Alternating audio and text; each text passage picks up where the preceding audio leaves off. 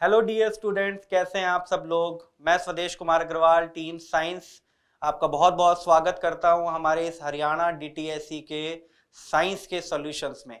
Dear students I hope कि आपका paper बहुत ही अच्छे से गया होगा और आप एक अच्छे नंबर एक्सपेक्ट कर रहे होंगे. तो डियर स्टूडेंट बिना किसी टाइम को खराब करते हुए, ज़ाया करते हुए आइए हम देखते हैं हमारे साइंस के पार्ट के सॉल्यूशन तो बच्चों, जो हमारा क्वेश्चन नंबर एक है find the correct diagram for reflection of light from a surface तो हमें ये चार डायग्राम दिए हुए हैं और हमसे पूछा है कि इसमें से कौन सा एक करेक्ट सोल्यूशन है। तो हम जानते हैं बच्चों कि रिफ्लेक्शन का लॉ ये कहता है कि angle of incidence and angle of reflection आपस में बराबर होते हैं। ठीक है? तो अगर हम यहाँ पर देखें बच्चों तो यहाँ एंगल ऑफ़ इंसिडेंस जो नॉर्मल से बन रहा है, वो है 40 डिग्री और यहाँ पर रिफ्लेक्शन जो हो रहा है वो 50 डिग्री यानी ये तो रिफ्लेक्शन के लॉ के हिसाब से गलत है। यहाँ पर अगर मैं देखूँ तो हमारा जो ये वाला एंगल होगा, जिसको हम कहेंगे एंगल ऑफ़ इंसिडेंस वो होगा 40 डिग्री क्योंकि पूरा 90 डिग्री है। इसमें से 50 कम कर दोगे तो क्या बचेगा? 40 और ये भी 50 है, यानी ये भी कितना बचा? 40 तो ये तो ठीक बात है। है ना? ये तो angle of incidence angle of reflection के बराबर है यहाँ पर तो।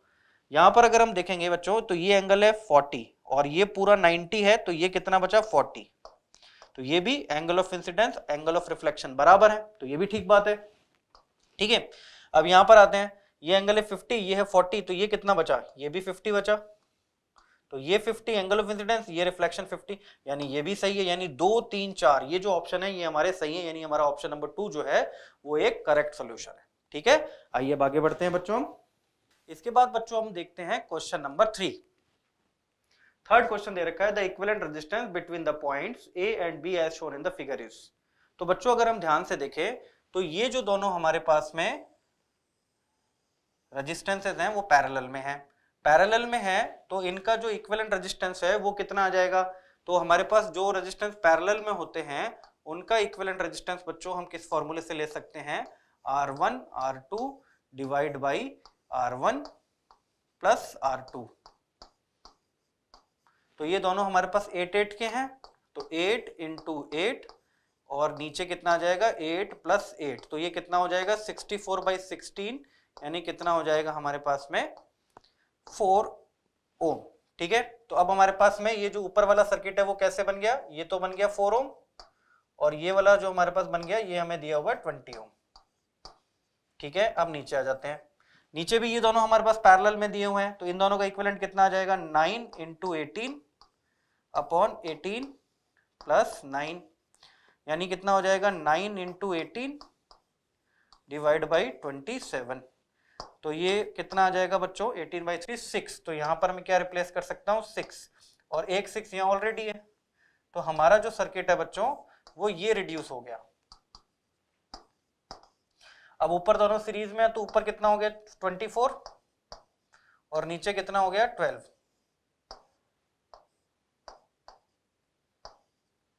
ये दोनों फिर पैरेलल में आ गए, है ना? वापस फॉर्मूला लगाते हैं।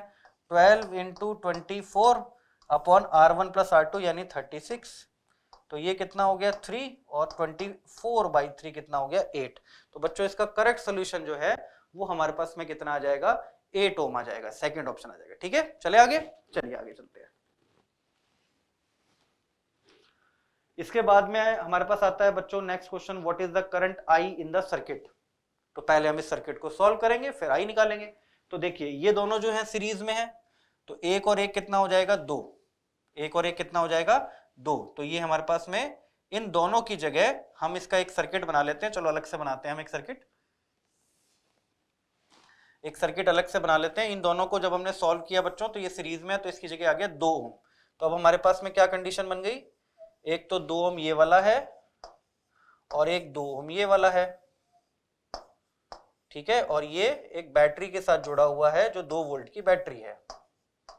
अब ये दो दोनों पैरेलल के अंदर है। पैरेलल में है तो R1 R2 upon R1 plus R2 तो ऊपर भी चार, नीचे भी चार, यानी एक ओम आ गया।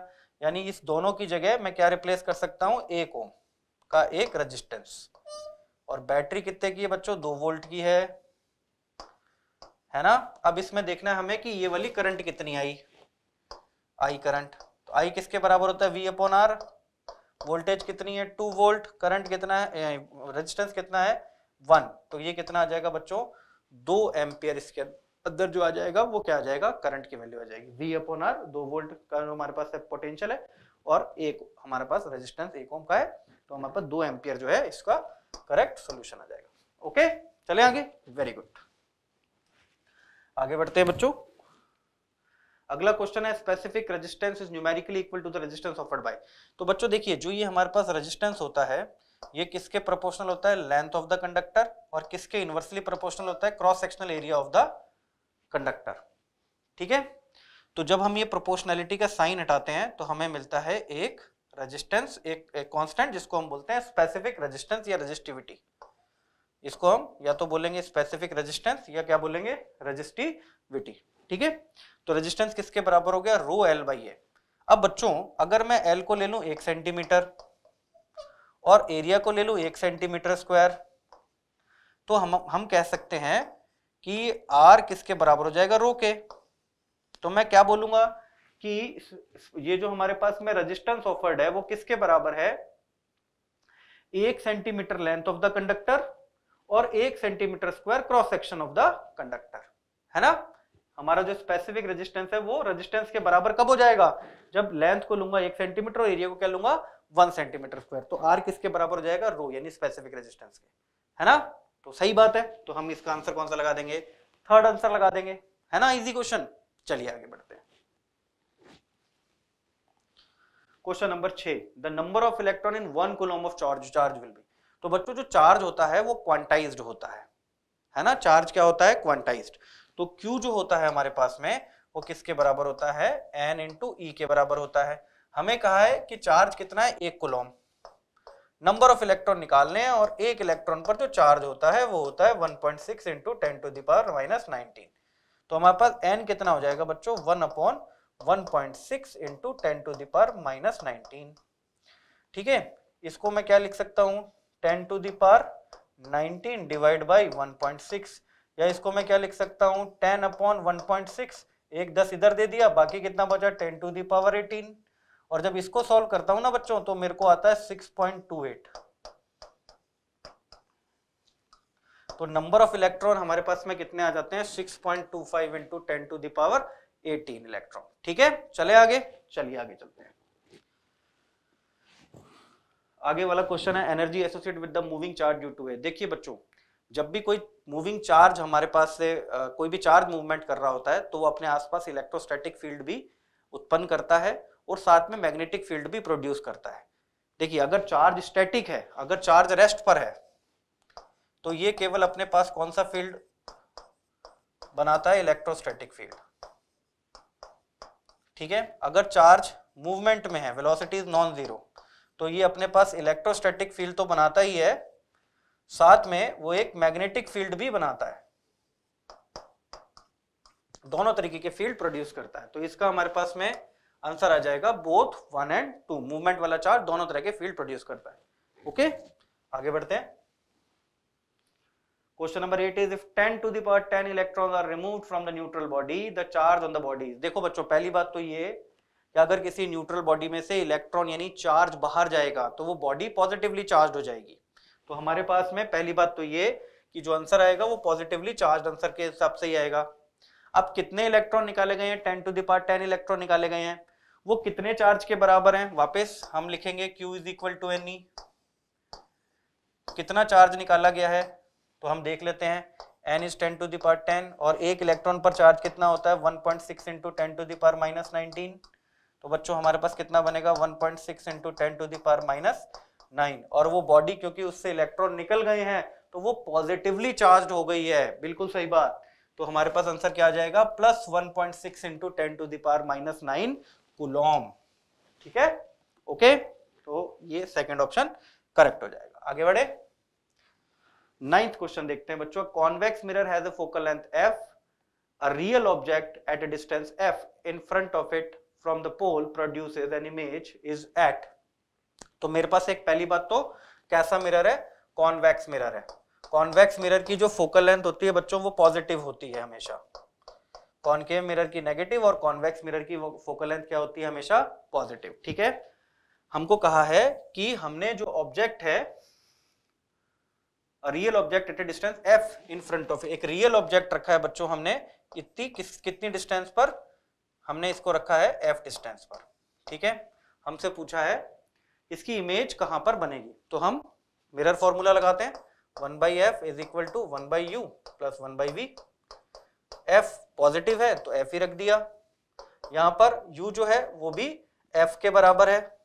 लेकिन क्योंकि ये हमने जो भी इंसिडेंट रेज है, उसकी ऑपोजिट डायरेक्शन में जाके हम इसकी रीडिंग ले रहे हैं, इसलिए हम यू को क्या रखेंगे? नेगेटिव है ना? प्लस वन बाई वी, जिसको हमें कैलकुलेट करना होता है उसके साथ कोई भी साइन नहीं लगाते हैं। One by v is equal to one by f plus one by f. इधर जाएगा तो कितना बनेगा? One by f. तो टोटल कितना हो जाएगा? Two by f. और यहाँ से वी की वैल्यू कितनी आ जाएगी बच्चों?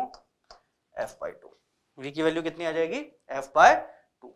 ठीक है? तो आंसर हमारे पास कितना आ जाएगा? थर्ड ऑप्शन करेक्ट चले आगे? चलिए आगे चलते हैं। Next question is in vacuum the speed of light depends on जो वैक्यूम होता है बच्चों, उसके अंदर जो स्पीड ऑफ़ लाइट है स्पीड ऑफ़ लाइट बेसिकली किसी पर भी डिपेंड नहीं करती है, ना तो फ्रीक्वेंसी पर डिपेंड करती है, ना वेवलेंथ पर डिपेंड करती है और ना ही वेलोसिटी पर। जो वैक्यूम होता है, उसमें जो स्पीड ऑफ़ लाइट होती है, क्योंकि कोई मीडियम है ही नहीं तो इनमें से किसी भी चीज़ पर डिपेंड नहीं करती है, यानी इसका जो आंसर आ जाएगा, वो आ जाएगा नन ऑफ़ दिस यानी हम फोर्थ ऑप्शन इसका करेक्ट सोल्यूशन लगा देंगे। ठीक है? चले आगे। इसके बाद नेक्स्ट क्वेश्चन देखते हैं बच्चों। Next question is question number eleven the speed of light is maximum in. तो बच्चों, जो स्पीड ऑफ़ लाइट होती है, वो मैक्सिमम किसमें होती है? एयर में होती है या फ्री स्पेस में होती है। बाकी जगह पर, क्योंकि मीडियम रखा हुआ है तो उसकी स्पीड क्या हो जाती है? कॉम्प्रोमाइज हो जाती है, कम हो जाती है, या यूँ कहें सी बाई म्यू हो जाती है। वी किसके बराबर हो जाता है? सी बाई म्यू लेकिन एयर या वैक्यूम में उसकी जो स्पीड होती है, वो speed of light three into ten to the power eight metre per second के अनुसार चलती है। तो इसका मतलब है, इसका ऑप्शन कौन सा चला जाएगा हमारा? एयर ठीक है? नेक्स्ट क्वेश्चन देखते हैं बच्चों। The size of the pupil of the eye is adjusted by तो देखिए बच्चों, जो प्यूपल का जो साइज़ होता है, वो किसके द्वारा एडजस्ट किया जाता है? जो हमारे पास में आइरिस होता है, वो ही सबसे पहले एंट्री पॉइंट है किसी भी लाइट के आने का। और उसका जो साइज़ होता है, वो कौन एडजस्ट करता है? वो एडजस्ट होता है हमारे पास में प्यूपल का साइज़ आइरिस के द्वारा। ठीक है? तो इसको हम याद रखेंगे आगे बढ़ेंगे। A soft iron bar is introduced inside a current carrying solenoid, then the magnetic field inside the solenoid. तो देखिए सोलेनॉइड अगर मान लीजिए बच्चों हमारे को दे रखा है इस तरीके से सोलेनॉइड अगर हमारे को दे रखा है और हमसे कहा है कि एक सॉफ्ट आयरन बार हमने इसके अंदर इंट्रोड्यूस करवा दी है तो हमसे पूछा है कि magnetic field inside the solenoid इस पर क्या फ़र्क पड़ेगा? देखिए बच्चों, हमारे पास जो मैग्नेटिक फ़ील्ड होता है सोलेनॉइड का, वो होता है mu naught n I where n I n होता है नंबर ऑफ़ टर्न्स जो एन होता है वो होता है number of turns per unit length I मतलब जो इसमें करंट फ्लो हो रहा है, और जो हमारे पास में म्यू नोट है, वो होती है मैग्नेटिक परमेबिलिटी अगर इसमें हम सॉफ्ट आयरन कोर डाल देते हैं बच्चों तो हमको इसके अंदर इस म्यू एम से, यानी इस जो भी हमारा मीडियम है, उसकी परमेबिलिटी से भी क्या करना पड़ता है? मल्टीप्लाई और इसकी वैल्यू होती है ग्रेटर देन वन इसकी वैल्यू कितनी होती है? ग्रेटर देन वन तो ओवरऑल जो हमारे पास बी की वैल्यू होती है, वो क्या हो जाती है? इंक्रीज हो जाती है. तो जब भी सॉफ्ट आयरन कोर हम डालते हैं किसी भी सोलेनॉइड में तो उसकी जो मैग्नेटिक फ़ील्ड की वैल्यू है, वो क्या हो जाती है? इंक्रीज हो जाती है. ठीक है? आगे बढ़ते हैं. The broad wavelength range of visible spectrum is बच्चों, जो हमारे पास में दृश्य स्पेक्ट्रम है, उसकी जो तरंग दैर्घ्य की परास होती है, दृश्य क्षेत्र की, इन ऑप्शन के हिसाब से हम कह सकते हैं, वो लगभग 4000 से 8000 एम स्ट्रॉन्ग होती है। To be precise 4800 angstrom से 7800 एम स्ट्रॉन्ग हो सकती है।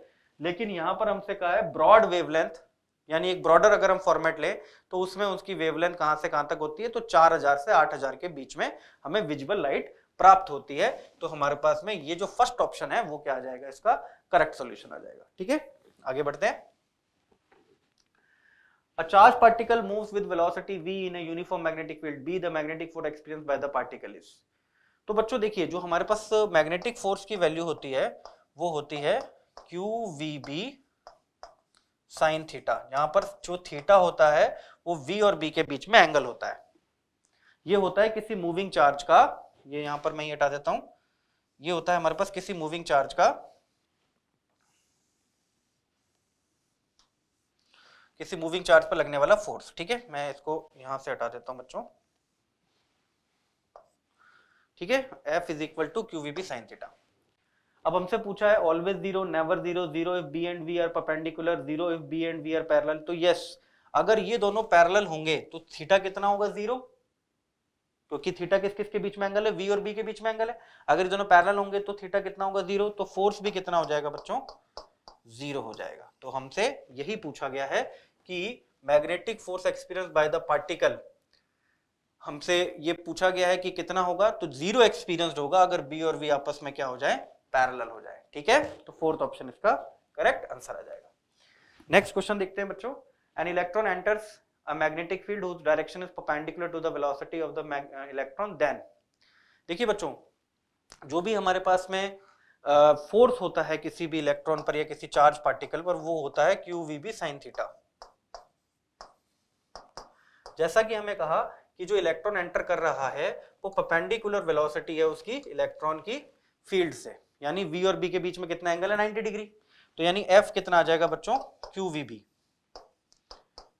अब जैसे मान लीजिए कोई भी मैग्नेटिक फ़ील्ड है, इसमें जब कोई इलेक्ट्रॉन एंटर करेगा बच्चों ठीक है? तो इसके ऊपर जो फोर्स लगेगा, इसके ऊपर जो फोर्स लगेगा हमारे पास में, वो क्या लगेगा? वो इस इलेक्ट्रॉन की वी के और बी के, दोनों के परपेंडिकुलर लगेगा। क्योंकि ये जो एफ़ होता है ना बच्चों, वो किसके बराबर होता है? क्यू वी क्रॉस पी और एफ़ की जो डायरेक्शन होगी ना, वो v के भी परपेंडिकुलर होगी और b के भी परपेंडिकुलर यानी जैसे ही वेलोसिटी इसकी, मान लीजिए इस डायरेक्शन में है तो जो फोर्स होगा इस v के क्या लगेगा? परपेंडिकुलर और जब भी फोर्स वेलोसिटी के परपेंडिकुलर होता है तो हमेशा याद रखिएगा, वो उसके मैग्नीट्यूड में कभी चेंज लेकर के नहीं आता है, वो केवल उसकी डायरेक्शन चेंज करता है। तो क्योंकि फोर्स यहाँ पर वेलोसिटी के परपेंडिकुलर है, इसलिए वो वेलोसिटी के मैग्नीट्यूड में कोई चेंज नहीं लेके आएगा, यानी स्पीड कांस्टेंट रहेगी, केवल वो उसको सर्कुलर पाथ के ऊपर मूव करवाएगा। तो इसमें हमसे इसी हिसाब से क्वेश्चन पूछे गए हैं the speed of the electron will increase speed of the electron will decrease speed of the electron will remain same velocity of the electron will remain same तो बच्चों इसकी जो स्पीड है वो क्या बनी रहेगी? कांस्टेंट पर वेलोसिटी हम नहीं कह सकते क्योंकि वो उसको घुमाएगा ज़रूर। वो उसको सर्कुलर पाथ पे घुमाएगा, इसलिए उसकी डायरेक्शन कंटिन्यूसली चेंज होती रहेगी। यानी उसकी वेलोसिटी जो है वो सेम नहीं रहेगी। लेकिन हाँ उसकी जो स्पीड है वो क्या रहेगी? कांस्टेंट रहेगी सेम रहेगी। ठीक है? तो ये थे बच्चों हमारे इस साइंस पार्ट के solution thank you hello everyone myself Kavita Rajpal, team CLC today we will discuss about DTSC exam Haryana question number 17 है हमारे पास, देखिएगा। What happens when dilute hydrochloric acid is added to iron filling? Tick the correct answer यानी हमें देखना है कि क्या होता है जब तनु हाइड्रोक्लोरिक अम्ल को लोहे चूर्ण में मिलाया जाता है। देखिएगा, हमारे पास है ये आयरन अब हम देख रहे हैं कि इसमें हमने डाइल्यूट हाइड्रोक्लोरिक एसिड जो है वो ऐड कर दिया है। ठीक है? देखिएगा क्या होता है। जैसे ही हम यहाँ पे एस यानी हाइड्रोक्लोरिक एसिड डाइल्यूट यहाँ ऐड करते हैं तो यहाँ से साल्ट का फॉर्मेशन होता है एफ़ और साथ में हाइड्रोजन गैस रिलीज़ होती है बच्चों। तो वेरी वेरी इंपॉर्टेंट यहाँ पे ये केमिकल रिएक्शन बन गई। तो देखिए क्या प्रोड्यूस होता है। तो यहाँ पे प्रोड्यूस हो रहा है FeCl2 एंड हाइड्रोजन गैस तो ऑप्शंस देख लेते हैं। Hydrogen gas and iron chloride are produce सही है। ये रही हाइड्रोजन गैस और ये रहा आयरन क्लोराइड यानी ए ऑप्शन क्या हो जाएगा? यहाँ पे बिल्कुल करेक्ट फिर भी देख लीजिए सेकंड ऑप्शन भी। देखिए सेकंड ऑप्शन क्लोरीन गैस नहीं क्लोरीन गैस प्रोड्यूस नहीं होती है। यहाँ तो हाइड्रोजन गैस प्रोड्यूस हुई है। उसके बाद देखिए नो रिएक्शन टेक्स प्लेस नहीं। रिएक्शन तो हो रही है यहाँ पे प्रोसीड देखिए iron salt and water are form नहीं।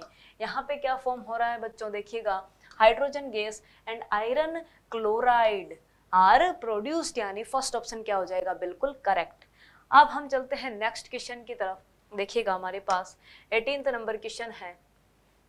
द कॉम्बिनेशन ऑफ़ फॉस्फोरस देखिएगा phosphorus and oxygen is an example of ध्यान रखिएगा, जब भी ऑक्सीजन के कंबाइन होने की बात आए तो बच्चों, उस रिएक्शन को हम क्या बोलते हैं? ऑक्सीडेशन क्या बोलेंगे हम इस रिएक्शन को बच्चों? ऑक्सीडेशन यानी फ़र्स्ट ऑप्शन क्या हो जाएगा? बिल्कुल करेक्ट हो जाएगा। यानी एटीन में फ़र्स्ट ऑप्शन बिल्कुल करेक्ट हो गया।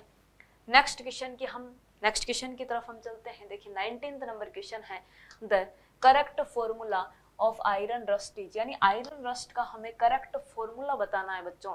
तो ध्यान रखिएगा वेरी वेरी इंपॉर्टेंट है। आयरन रस्ट की अगर हम बात करें तो फॉर्मूला होता है F E two O three dot x S two O यानी यहाँ पे F E two O three dot x S two किसका फॉर्मूला होता है? आयरन रस्ट का, यानी ऑप्शन नंबर यहाँ पे बच्चों। देखिएगा थर्ड ऑप्शन क्या हो जाएगा? बिल्कुल करेक्ट ये हो गया थर्ड ऑप्शन बिल्कुल correct F two O three dot x S two O next question की तरफ़ हम बढ़ते हैं। नेक्स्ट क्वेश्चन है हमारे पास, देखिएगा। Which of the following is एक कंबेंशन रिएक्शन यानी निम्न में से कौन सी एक दहन अभिक्रिया है? तो कंबेंशन रिएक्शन की अगर हम बात करें तो बर्निंग ऑफ़ पेट्रोल क्या होता है बच्चों? कंबेंशन रिएक्शन होती है, यानी यहाँ पे क्या हो जाएगा? थर्ड ऑप्शन बिल्कुल करेक्ट हो जाएगा। देखिएगा। नेक्स्ट क्वेश्चन की तरफ़ हम बढ़ते हैं। नेक्स्ट क्वेश्चन है जिंक प्लस टू इलेक्ट्रॉन यहाँ पे जिंक फॉर्म हो रहा है। दिस इज़ ए एन देखिए, हमें देखना है कि रिएक्शन क्या है। तो जब भी हम बात करें कि किसी रिएक्शन में इलेक्ट्रॉन जो है वो गेन हो रहे हैं इलेक्ट्रॉन क्या हो रहे हैं बच्चों? गेन हो रहे हैं। तो ऐसे रिएक्शन क्या होती है? रिडक्शन रिएक्शन यानी यहाँ पे सेकंड ऑप्शन क्या हो जाएगा? बिल्कुल करेक्ट हो जाएगा। यानी यहाँ पे सेकंड ऑप्शन करेक्ट हो गया। रिडक्शन नेक्स्ट क्वेश्चन की तरफ़ मूव करते हैं। ट्वेंटी टू नंबर क्वेश्चन देखिएगा। नेक्स्ट क्वेश्चन है, zinc plus S two S O four Z N S O four plus S two उपरोक्त अभिक्रिया है। यानी अबव रिएक्शन इज़ देखिएगा। यहाँ पे जिंक डिस्प्लेस करता है हाइड्रोजन को तो ये रिएक्शन हो जाती है बच्चों सिंगल डिस्प्लेसमेंट रिएक्शन यानी यहाँ पे सेकंड ऑप्शन क्या हो जाएगा? बिल्कुल ही करेक्ट नेक्स्ट क्वेश्चन की तरफ़ बढ़ते हैं हम 23 नंबर क्वेश्चन देखिएगा। Which of the following is not a base तो देखिएगा, हम बात करते हैं अनेसियल की। तो बच्चों अनेसियल क्या होता है? एक साल्ट होता है, ना कि ये एक बेस होता है। तो यहाँ पे साल्ट नहीं होने की बात करिए तो अनेसियल कभी भी साल्ट, कभी भी बेस नहीं होगा। अनेसियल क्या होगा? एक साल्ट होगा, यानी यहाँ पे फोर्थ ऑप्शन क्या हो जाएगा? बिल्कुल करेक्ट हो जाएगा। अब हम बढ़ते हैं नेक्स्ट क्वेश्चन की तरफ़, ट्वेंटी फोर्थ नंबर क्वेश्चन। देखिएगा आप लोग, a solution turn blue litmus red, the pH of the solution is probably. यानी हम बात करते हैं कि हमारे पास कोई ब्लू लिटमस है जो किसमें कन्वर्ट हो रहा है बच्चों रेड में। तो ये कब कन्वर्ट होता है? जब सॉल्यूशन कैसा हो हमारे पास? एसिडिक हो और एसिडिक सॉल्यूशन की जो पीएच होती है बच्चों, वो सेवन से कम होती है। तो सेवन से कम वाला हमारे पास ऑप्शन हो जाएगा। तो एट तो सेवन से ज़्यादा है ट्वेल्व भी ज़्यादा है टेन भी ज़्यादा ये रहा सिक्स सेवन से कम है, यानी यहाँ पे फोर्थ ऑप्शन बिल्कुल क्या हो जाएगा? करेक्ट हो जाएगा। नेक्स्ट क्वेश्चन की तरफ़ हम चलते हैं। नेक्स्ट क्वेश्चन है हमारे पास ट्वेंटी फिफ्थ नंबर क्वेश्चन देखिएगा आप लोग। Washing soda has the formula हमें देखना है कि वॉशिंग सोडा का फॉर्मूला कौन सा होता है? तो बिल्कुल एनसीईआरटी का क्वेश्चन है ये। वॉशिंग सोडा का फॉर्मूला क्या होता है बच्चों? Na two C O three dot ten S two O एक second Na two C O three dot ten S two O यानी यहाँ पे ऑप्शन नंबर सेकंड क्या हो जाएगा? करेक्ट आंसर हो जाएगा। अब हम आगे की तरफ़ बढ़ते हैं। ट्वेंटी सिक्स नंबर क्वेश्चन देखिएगा बच्चों। ट्वेंटी सिक्स नंबर क्वेश्चन है which of the following acid is present in vinegar यानी विनेगर में कौन सा एसिड प्रेजेंट होता है? तो बच्चों, हम जानते हैं कि विनेगर के अंदर एसिडिक एसिड प्रेजेंट होता है, यानी ऑप्शन नंबर थर्ड क्या हो जाएगा? बिल्कुल ही करेक्ट हो जाएगा। क्वेश्चन नंबर ट्वेंटी सेवन की तरफ़ हम बढ़ते हैं। तो क्वेश्चन नंबर ट्वेंटी सेवन देखिए। An aqua solution with p H equals to zero बच्चों, ध्यान रखना, जब भी पी एच ज़ीरो की अगर हम बात करें तो आप लोगों को इसका आंसर देना है एसिडिक सॉल्यूशन यानी वो एसिडिक सॉल्यूशन की बात करेगा। तो आपको यहाँ पे कभी भी न्यूट्रल या बेस नहीं बोलना है। जब भी ज़ीरो पीएच की बात करें तो सॉल्यूशन को हम क्या बोलेंगे बच्चों? एसिडिक सॉल्यूशन बोलेंगे। यानी फ़र्स्ट ऑप्शन क्या हो जाएगा? बिल्कुल करेक्ट नेक्स्ट क्वेश्चन देखिएगा। Twenty number question C U O plus x C U S O four plus S two here x is पहचानना है आपको। कि x क्या है? तो बच्चों देखिए, बहुत ही आसान सा है। इस प्रकार से हमें कोई इक्वेशन दी हुई है।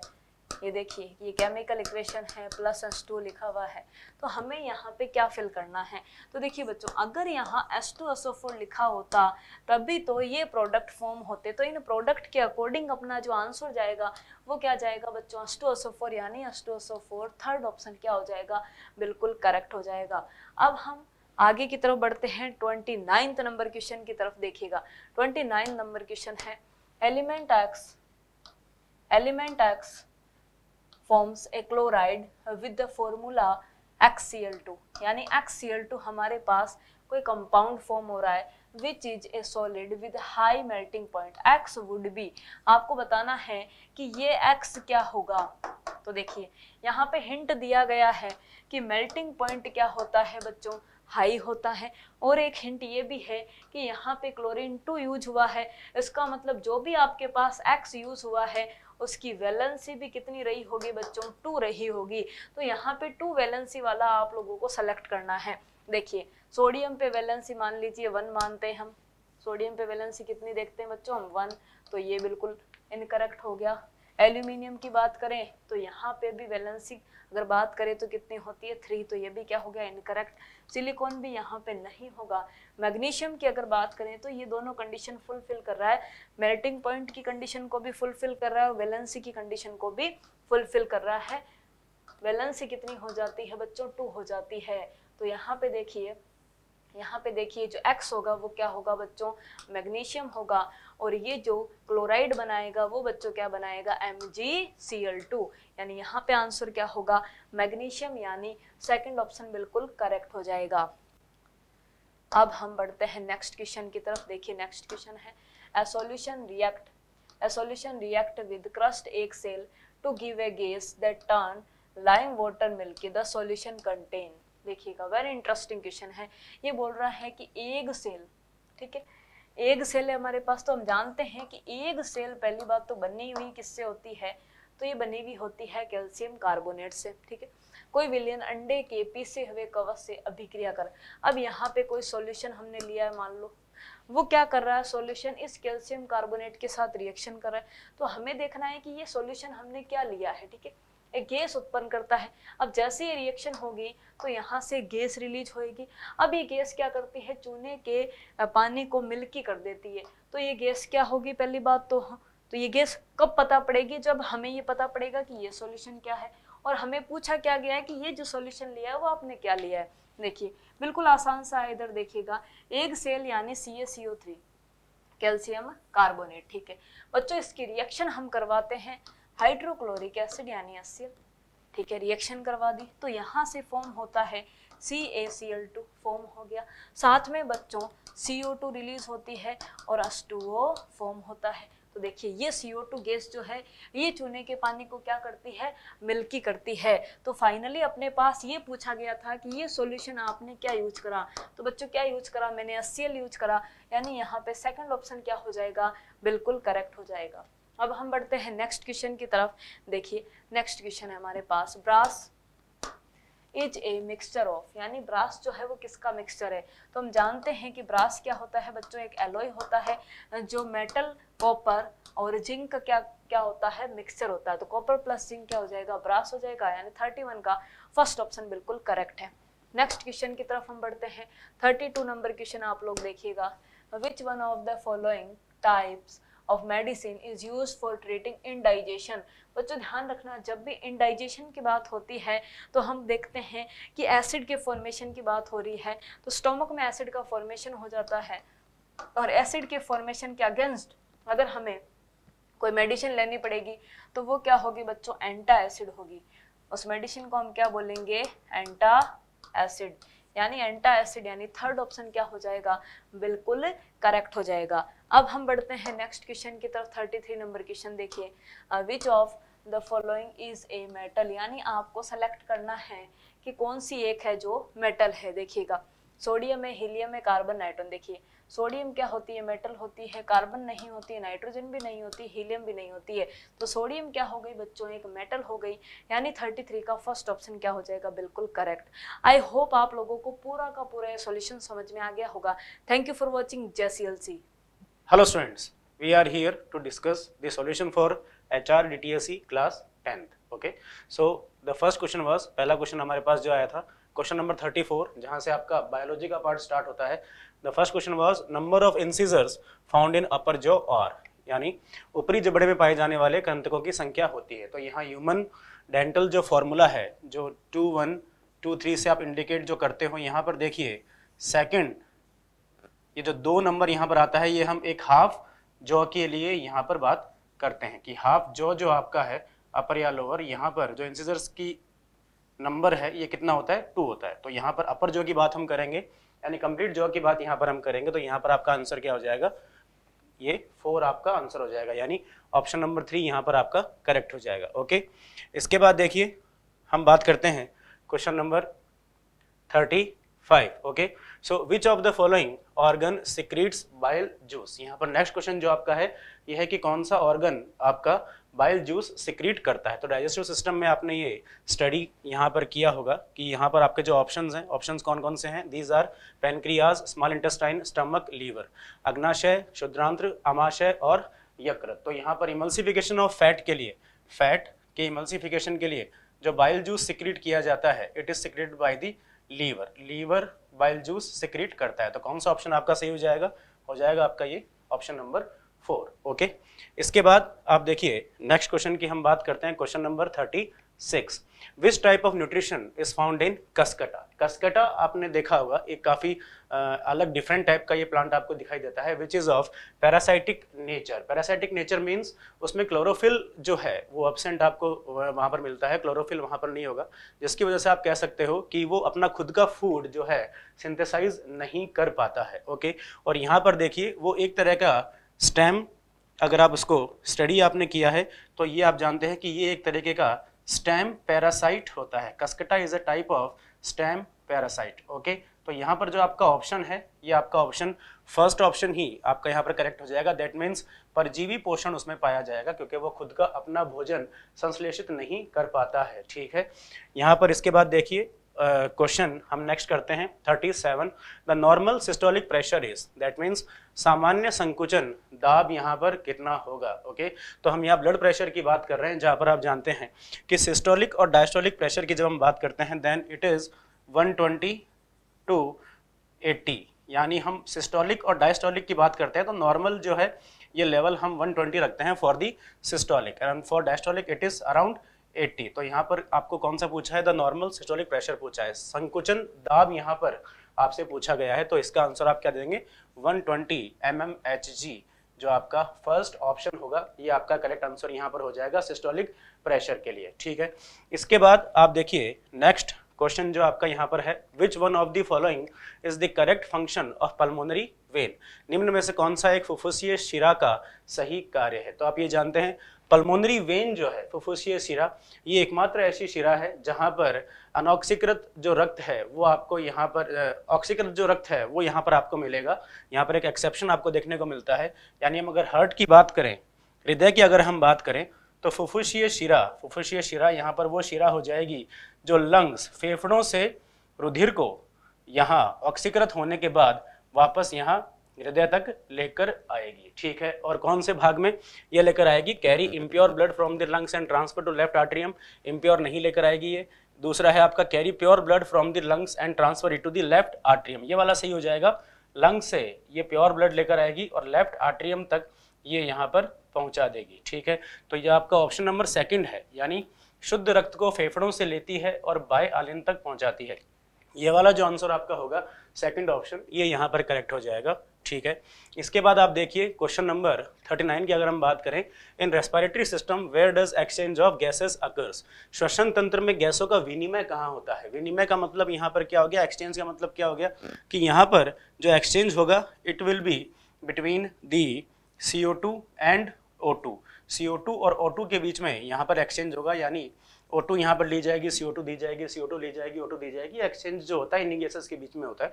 और ये आप जानते हैं कि लंग्स फेफड़ों की अगर आप बात करें तो लंग्स की आपने अगर स्ट्रक्चर पढ़ा होगा तो यहाँ पर लास्ट पार्ट जो है that is the alveoli alveoli और वी कैन से वायु कुपिकाएँ वायु कोपिकाएँ जो है, ये इसका आखिरी भाग है, जिसकी झिल्ली बहुत ही महीन, बहुत ही पतली होती है, जहाँ से एक्सचेंज ऑफ़ गैसेस यानी यहाँ विनिमय जो है गैसों का ये पाया जाता है तो इसका जो ऑप्शन नंबर सेकंड है, ये आपका सही आंसर यहाँ पर माना जाएगा okay now moving on to the next question find out the correct pair of bisexual flowers यहाँ पर आप देखिए, उभयलिंगी पुष्पों के एक सही जोड़े को आपको पहचानना था।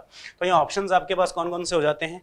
एक है आपके पास ये हिबिस्कस हिबिस्कस यानी हम बात करते हैं गुड़हल की। तो ये तो आपने एक्सपेरिमेंट्स वगैरह में एक्टिविटीज़ वगैरह में देखा ही होगा कि जो गुड़हल है चाइना रोज जिसको बोलते हैं, ये एक बाइसेक्सुअल फ्लावर यहाँ पर होता है और इसको हम स्टडी भी करते हैं। काफ़ी चैप्टर्स में आपको इनाम मिलता होगा। पपाया जो आपका दूसरा ऑप्शन है पपाया ये यूनिसेक्सुअल होता है, इसके बारे में आप जानते हैं। तो आपको एक ऐसा कॉम्बिनेशन यहाँ पर ढूंढना है, ऐसा जोड़ा यहाँ पर आपको देखना है जो बाइसेक्सुअल है उभय लिंगी है। तो आपको जो जोड़ा मिलेगा, वो यहाँ मिलेगा हिबिस्कस एंड मस्टर्ड ये वाला जो ऑप्शन आपका थर्ड वाला है, गुड़हल और सरसों, ये वाला जो आपका ऑप्शन होगा ये थर्ड ऑप्शन आपका इस क्वेश्चन के अंदर बिल्कुल करेक्ट हो जाएगा ओके इसके बाद देखिए, हम बात करते हैं क्वेश्चन नंबर 51 की। सेलेक्ट द मिसमैच यहाँ पर एक गलत मिलान का चयन आपको करना है। और गलत मिलान का चयन आपको किसके बीच में करना है? देखिए, यहाँ मैटर आपको क्या दिया गया है? मैटर आपको दिया गया है टाइप ऑफ़ रिप्रोडक्शन और उसका एक एग्ज़ाम्पल दिया गया है। यानी जनन किस प्रकार से किया जाता है और उसका एक उदाहरण आपको यहाँ पर दिया गया है। तो यहाँ पर देखिए, पुनरुद्भवन यानी रीजनरेशन अगर आप देखा जाए तो प्लेनेरिया में बिल्कुल सही हो जाता है, ठीक है? बडिंग, आप जानते हैं, यीस्ट में मुकुलन की प्रक्रिया से ही जनन यहाँ पर होता है, ठीक है? ये जनन के चैप्टर में आपने पढ़ा ही होगा। बाइनरी फिशन की अगर हम बात करें तो नाम हमारे दिमाग में आता है सीधा अमीबा। क्या नाम आता है? सीधा अमीबा नाम हम जानते हैं बाइनरी फिशन के लिए, लेकिन यहाँ पर नाम जो दिया गया है, ये प्लाज्मोडियम का दिया गया है। प्लाज्मोडियम यानी दुई विखंडन की बात हम करें तो यहाँ पर प्लाज्मोडियम का नाम दे दिया गया है, जो आपका मलेरियल पैरासाइट भी होता है प्लाज्मोडियम उसके लिए आप जानते हैं कि प्लाज्मोडियम जो है, ये बाइनरी फिशन नहीं, बल्कि ये मल्टीपल फिशन से रिप्रोड्यूस करता है, यानी बहुविखंडन से ये जनन करता है, ना कि द्विविखंडन से। ठीक है तो ये वाला जो है, ये एक गलत मिलान हो जाएगा क्योंकि स्पोर फॉर्मेशन बाद में राइजोपस के लिए भी बिल्कुल सही बैठ रहा है यहाँ पर। तो यहाँ जो तीसरा ऑप्शन आपके पास है थर्ड ऑप्शन ये इसका आंसर हो जाएगा, जो कि एक गलत मिलान है कि द्विविखंडन प्लाज्मोडियम में नहीं पाया जाता है। ठीक है, इसके बाद देखिए, इसका अगला क्वेश्चन हम देखते हैं। Read the following statements carefully and find out the correct statement ये आपको स्टेटमेंट स्टडी करने हैं, इनको पढ़ना है। और यहाँ पर जो सही स्टेटमेंट है, उसको आपको मार्क कर देना था। तो यहाँ पर देखिए इन प्लांट्स पहले स्टेटमेंट की अगर हम बात करते हैं तो यहाँ पर लिखा हुआ है in plants after fertilization ovary is converted into fruit यानी निषेचन के पश्चात अगर पादपों की बात हम करें तो अंडाशय फल में रूपांतरित हो जाता है। और ये बिल्कुल सही बात भी है कि ओवेरी जो है ओवेरी फर्टिलाइजेशन के बाद फ्रूट में कन्वर्ट हो जाती है, यानी जो उसकी वॉल है, ये फ्रूट वॉल बनाती है पेरिकार्प ये भी आपने पढ़ा होगा। इसके बाद देखिए सेकंड ऑप्शन अगर हम देखें in plants after fertilization zygote is converted into seed ये थोड़ा सा गलत यहाँ पर हो गया है, क्योंकि जायगोट कभी भी सीड में डेवलप नहीं होता है जायगोट डेवलप होता है एम्ब्रियो में। फर्दर हम बात करें जायगोट के लिए तो ये डेवलप होता है एम्ब्रियो के अंदर। यानी अगर हम बात करें युगमनस की तो ये बनाएगा भ्रूण। ये भ्रूण यहाँ बनाएगा, ये बीज नहीं बनाता है, बीज में रूपांतरित ये नहीं होता है, यानी यहाँ पर सही कथन जो है, ये पहला वाला तो हो जाएगा कि ये वाला सही है, लेकिन दूसरा वाला जो है, हमारे पास ये गलत आ गया है, ठीक है? तीसरे की बात करें, in plants after fertilization ovule is converted into endosperm तो ये भी यहाँ पर गलत है, क्योंकि ओव्यूल जो है ओव्यूल कन्वर्ट होता है यहाँ पर सीड के अंदर, ये एंडोस्पर्म नहीं बनाता है एंडोस्पर्म आप जानते हैं कि प्राइमरी एंडोस्पर्म जो न्यूक्लियस है प्राथमिक भ्रूणपोष जो केंद्रक है, उससे आगे भ्रूणपोष का निर्माण होता है तो भ्रूणपोष वाला जो यहाँ स्टेटमेंट है, ये भी यहाँ गलत माना जाएगा। और ऑल ऑफ़ दिस तो इसका आंसर हो नहीं सकता तो इसका आंसर क्या हो जाएगा?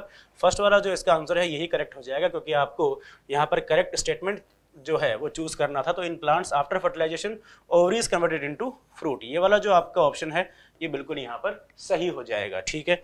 इसके बाद हम बात करते हैं नेक्स्ट क्वेश्चन की how many pairs of sex chromosomes are found in humans मानव में कितनी जोड़ी लिंग गुणसूत्र पाए जाते हैं? तो आप जानते हैं यहाँ पर देखिए 46 जो गुणसूत्र हैं 46 गुणसूत्र हमारे पास ह्यूमंस के अंदर हम स्टडी करते हैं। उन 46 क्रोमोसोम्स के अंदर हम जानते हैं कि 44 जो हैं, ये ऑटोसोम्स हैं, अलिंग गुणसूत्र हैं और यहाँ पर दो जो हैं, ये लिंग गुणसूत्र हैं। तो यहाँ पर जो पूछा गया है, आपको पेयर पूछा गया है, यानी जोड़ी पूछी गई है तो जोड़ी की अगर हम बात करेंगे तो 23 जो है, वो पूरी जोड़ियाँ हमारे पास होती हैं, जहाँ पर 22 जोड़ियाँ जो होती हैं, ये अलिंग होती हैं ऑटोसोम्स होती हैं, और एक जोड़ी जो है, ये लिंग गुणसूत्र की होती हैं, यानी अगर नर की बात करें तो एक्स, वाई, और मादा की बात करें तो एक्स और एक्स। तो इसका जो जवाब होगा, ये होगा एक। एक जोड़ी लिंग गुणसूत्र पाए जाते हैं, अगर हम मानवों की बात करते हैं। तो यहाँ पर आपका जवाब हो जाएगा ऑप्शन नंबर टू, ओके? इसके बाद देखिए, अगला क्वेश्चन हम देखते हैं if plant with genotype A A B B यहाँ पर देखिए, ये हिट्रोजाइगस कंडीशन है, यानी विषम युग्मजी, ये आपको कंडीशन एक दी गई है capital A small A capital B small B ये दिया गया है ओके और इस सेल्फ पॉलिनेटेड और आगे क्या करना है? इनको हमें स्वपरागित करवाना है। तो यहाँ देखिए कि capital A capital A capital B capital B की जो जीनोटाइप हमें यहाँ पर दी गई है इसके आने की प्रोबेबिलिटी कितनी हो सकती है? तो आप ध्यान से अगर इस सवाल को देखेंगे तो आपको पता है ये डाई हाइब्रिड क्रॉस से ही लिया गया है। मेंडल का जो डाईहाइब्रिड क्रॉस है, जो आपकी किताबों में एग्ज़ाम्पल आप देखते हो डाईहाइब्रिड क्रॉस यानी दुई संकर संकरण जब आपको दिखाई देता है, उसी का ये सवाल यहाँ से उठाया गया है, जिसके अंदर आप जानते हैं कि जब इनके आप गैमेट बनाएँगे, युग्मक बनाएँगे तो ये आपके पास आएगा capital R capital Y capital R small Y small R capital Y and small R small Y और यही युग्मक अगर आप नर के लिए मान सकते हैं, यही युग्मक आप मादा के लिए भी मान सकते हैं। यानी अगर आप यहाँ पर देखते हैं तो संततियाँ आपके पास कितनी आती हैं? प्रोजेनी आपके पास आती हैं सोलह।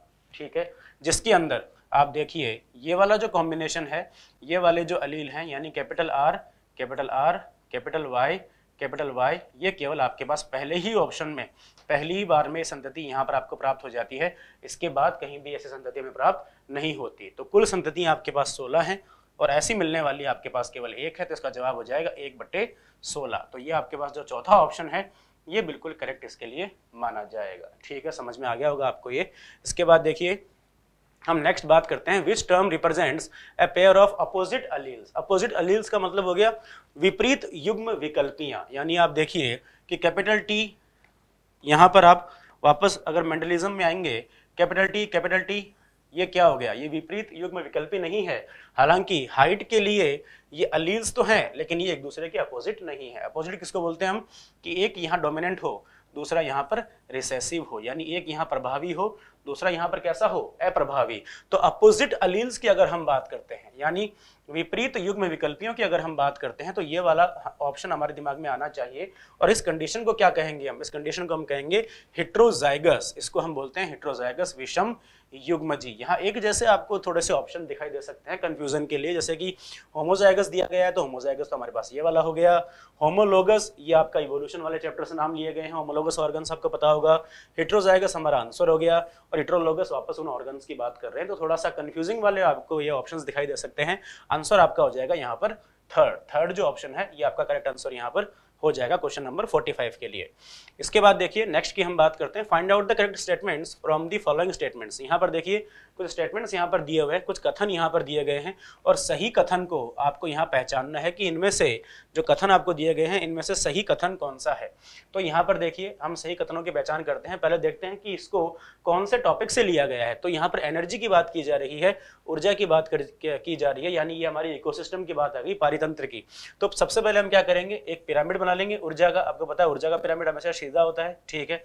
यहाँ हम जानते हैं सबसे नीचे आपके प्रोड्यूसर्स हैं जो आपके उत्पादक हैं, इसके बाद आपके जो कंज्यूमर्स आते हैं, वो इसके ऊपर आते हैं, ठीक है? तो यहाँ पर देख लीजिए, जो पहला ऑप्शन आपको दिया हुआ है the energy available to tertiary consumer is more than the energy available to secondary consumer ये गलत है, क्योंकि टर्शरी कंज्यूमर आपका ऊपर आएगा सेकेंडरी कंज्यूमर आपका उसके नीचे रह जाएगा, और एनर्जी आप जानते हैं जैसे जैसे ऊपर की ओर जाती है, उसकी अमाउंट क्या हो जाती है? कम हो जाती है टेन परसेंट एनर्जी का लॉ आपने यहाँ पर पढ़ा होगा तो ये वाला जो आपका ऑप्शन हो गया, ये गलत हो गया, ये नहीं होगा, क्योंकि तृतीय उपभोक्ता को उपलब्ध ऊर्जा द्वितीय उपभोक्ता से कम होती है, अधिक नहीं होती है, ठीक है? इसके बाद देखिए सेकंड है the energy available to herbivores is more than the energy available to carnivores ये सही हो जाएगा, क्योंकि हर्बीवर्स जो है, ये आपका बिल्कुल नीचे वाले लेवल पे आएगा और कार्निवर ऊपर वाले लेवल पे आएगा तो ये वाला जो ऑप्शन है, ये सही हो जाएगा, क्योंकि आपको पता है, शाकाहारियों को उपलब्ध ऊर्जा ज़्यादा होगी मांसाहारियों की तुलना में। क्योंकि मांसाहारी जो है, ये अपर ट्रॉफिक लेवल पर, ऊँचे वाले लेवल पर आपको दिखाई देते हैं।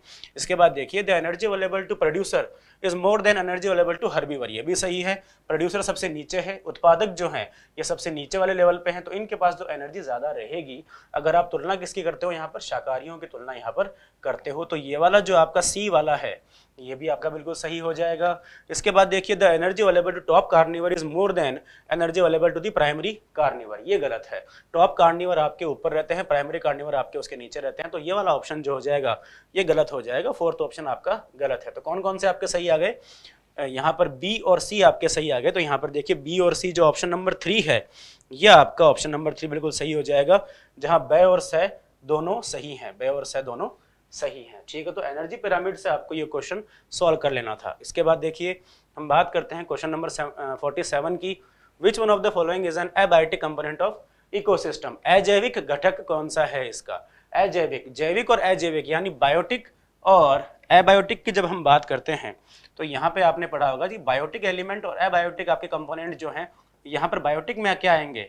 बायोटिक में आ जाएँगे सारे के सारे आपके कंपोनेंट्स जो लिविंग होंगे एबायोटिक में वो कंपोनेंट्स आ जाएँगे तो सारे के सारे क्या होंगे आपके पास? नॉन लिविंग होंगे, ठीक है? तो लिविंग और नॉन लिविंग के बीच में आपको डिफरेंस देख लेना था। आंसर आपके पास ये आ जाता। कैसे? जैसे कि बैक्टीरिया की बात करें लिविंग है। प्लांट्स की बात करें लिविंग है। फंजाई की बात करें लिविंग है। यहाँ देखिए जीवाणु पादप कवक तीनों ही जीव हैं ये। इनमें जीवन यहाँ पाया जाता है। ह्यूमस जो है ये नॉन लिविंग है। तो आपका जो जवाब यहाँ पर आएगा कि अजैविक घटक कौन सा है इनमें से तो ये ह्यूमस है। ठीक है? यानी वह मृदा जिसमें कई प्रकार का पोषण पाया जाता है जहाँ पादपों को हम उगाते हैं। प्लांट्स को ग्रोथ कर, करने के लिए जो न्यूट्रिएंट सॉइल यहाँ पर है ह्यूमस ये आपका जो है, ये अजैविक घटक है एबायोटिक कंपोनेंट है। तो आपका जो आंसर होगा, ये ऑप्शन नंबर यहाँ पर फोर हो जाएगा।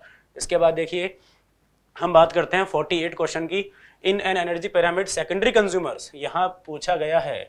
सवाल जो आपका है, आपको यहाँ पोजीशन देखनी है किसकी? सेकेंडरी कंज्यूमर्स की। यानी पोजीशन देखनी है आपको द्वितीयक उपभोक्ता की, ठीक है? तो यहाँ पर स्तर आप देख लीजिए। ये स्तर आपका हो गया, ये पहला स्तर हो गया, ये टी वन हो गया, ये दूसरा स्तर हो गया, ये टी टू हो गया, तीसरा स्तर आप बना लीजिए एक, इसे आप टी थ्री कर दीजिए। तो यहाँ पर आप क्या कर दीजिए, यहाँ पर हो गए आपके प्रोड्यूसर्स यहाँ पे हो गए आपके प्राइमरी कंज्यूमर्स यहाँ हो गए आपके सेकेंडरी कंज्यूमर्स यानी ये हो गए आपके उत्पादक, ये आ गए आपके प्राथमिक उपभोक्ता और ये आ गए द्वितीयक उपभोक्ता, यहाँ से आपको जवाब मिल जाएगा आसानी से कि लेवल कौन सा ऑक्यूपाई करते हैं ये? T three T three level occupy करते हैं, या कन्फ्यूज़न आपको हो जाता प्राइमरी कंज्यूमर में और सेकेंडरी कंज्यूमर में। तो जो आपका option number three T three level T three three वाला जो स्तर है, ये वाला आपका जवाब जो है बिल्कुल यहाँ पर सही हो जाएगा, ठीक है? इसके बाद देखिए अब question number forty nine which is not an example of in situ यहाँ एग्ज़ाम्पल इन सी टू का कौन सा नहीं है। ठीक है तो आपको ये क्वेश्चन बिल्कुल ध्यान से पढ़ना होता है पहले कि यहाँ पर जो नहीं है नॉट जो नहीं है वो पूछा गया है कि उदाहरण नहीं है। कौन सा? स्वस्थाने का। स्वस्थाने का अर्थ क्या हो जाता है? कि हम उन जीवों को उनके ही स्थान पर रखकर उनका संरक्षण करते हैं, उनको उनके स्थान से हटाते नहीं है। यानी नेचुरल हैबिटेट में ही आपको उनको कंजर्व करना है नेचुरल हैबिटेट से नहीं निकालना है उनको।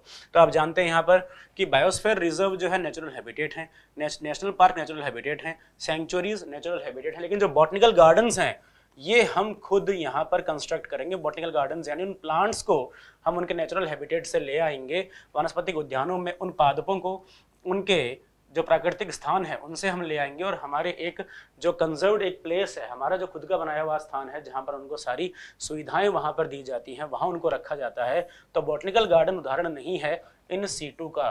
तो जो आपका आंसर यहाँ पर हो जाएगा, ये हो जाएगा ऑप्शन नंबर फ़र्स्ट पहला ऑप्शन आपका यहाँ पर करेक्ट हो जाता है। ठीक है? इसके बाद हम बात करते हैं हमारे लास्ट क्वेश्चन की। That is which of the following leaves is use to make bidis bidi बनाने के लिए ये आपका क्वेश्चन आ जाता है यहाँ पर। बीडी बनाने के लिए कौन से पादप की पत्तियों का इस्तेमाल किया जाता है? तो ये डायरेक्ट जनरल साइंस का यहाँ पर क्वेश्चन यहाँ पर आ जाता है। और ये कॉमन सी बात है कि तेंदु तेंदु जो प्लांट है, तेंदु लीव्स हम यहाँ पर यूज़ करते हैं। The leaves of tendu. Tendu leaves are use to make bidis तो जो ऑप्शन नंबर फोर्थ आपका यहाँ पर हो जाता है that is the correct option for the question number 50 okay तो ये आपका सॉल्यूशन है बायोलॉजी के लिए. Best of luck best of luck for your results thank you hello dear student myself Narottam जाएँगे team mathematics today will be discuss the DTSC solution of class tenth question है 51 if sec theta plus tan theta upon sec theta minus tan theta equal to five upon three find the value या tan theta find करना है. तो sec theta plus tan theta है तो इसको हम क्या करेंगे? साइन कोस में कन्वर्ट करेंगे. तो सेक थीटा को लेंगे one upon cos theta tan को लिखेंगे साइन अपॉन कोस अपॉन। नीचे सेक है सेक को लिखेंगे one upon cos minus sine theta upon cos then अब हम लेंगे एलसीएम और इक्वल टू मैं five by three. Then LCM लेंगे फाइव बाई थ्री। तो ऊपर एलसीएम आ रहा कोस नीचे भी एलसीएम आ रहा कोस कोस एलसीएम आ गया कोस एलसीएम ले लिया। तो हो गया वन प्लस साइन थीटा। और नीचे हो गया, नीचे भी एल्शियम क्या आ रहा है कोस आ रहा है, हो गया one minus sine theta equal to five by three cos से कोस कैंसिल हो गया, बच गया one plus sine theta upon one minus sine theta one plus sine theta upon one minus sine theta equal to five by three अब करेंगे cross multiply अपने को sign की वैल्यू निकालनी है, करेंगे क्रॉस मल्टीप्लाई तो हो गया थ्री प्लस से three sine theta equal to हो गया five minus five cos theta. Sorry sine theta. Sine theta को एक जगह करेंगे। साइन थीटा इधर आके पॉजिटिव हो गया तो थ्री और इधर आके कितना हो गया? एट तो हो गया एट साइन थीटा। और ये हो गया फाइव और ये माइनस थ्री ये कितना आ गया? टू अब अपने को साइन निकालना था एट का आएगा, नीचे आएगा तो साइन थीटा इक्वल टू हो गया two by eight sine theta equal to two by eight equal to one by four ये कैंसिल हो रहा है four times one by four. तो साइन थीटा इक्वल टू कितना है? One by four. तो आपका आंसर है फ़र्स्ट ऑप्शन क्लियर है? नेक्स्ट क्वेश्चन है R sine theta equal to one and R cos theta equal to root three then find the value of root three tan theta plus one ठीक है? यदि are ये है और are ये है तो इसका मान निकालना है। ठीक है? तो आर साइन थीटा तो दोनों को मैं क्या करूँगा? यहाँ डिवाइड करूँगा। दोनों को मैं डिवाइड करूँगा। तो आर साइन थीटा और इक्वल टू कितना है? वन और है R cos theta equal to कितना है? अंडर रूट तीन। दोनों को मैं डिवाइड करूँगा। तो यहाँ पे आर से आर कैंसिल हो गया। Sine theta upon cos theta हो गया tan theta sine theta upon cos theta कितना हो गया? Tan theta tan theta equal to कितना गया? रूट तीन। अब अपने को मान इसका निकालना है। इसका मान निकालना है किसका? रूट तीन टेन थीटा प्लस वन और टेन थीटा का मान वन अपॉन रूट तीन रखेंगे। तो हो गया अंडर रूट तीन into one upon under root तीन प्लस एक। अंडर रूट तीन से अंडर रूट तीन कट गया। एक प्लस एक इक्वल टू दो। तो इसका आंसर होगा आपका फोर्थ ऑप्शन क्लियर है? Clear next question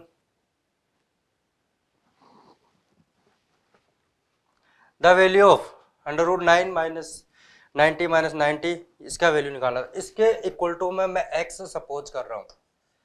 माना कि इसका मान एक्स है। इसके इक्वल टू में एक्स सपोज़ कर अब मैं क्या करूँगा? इसका स्क्वायर करूँगा।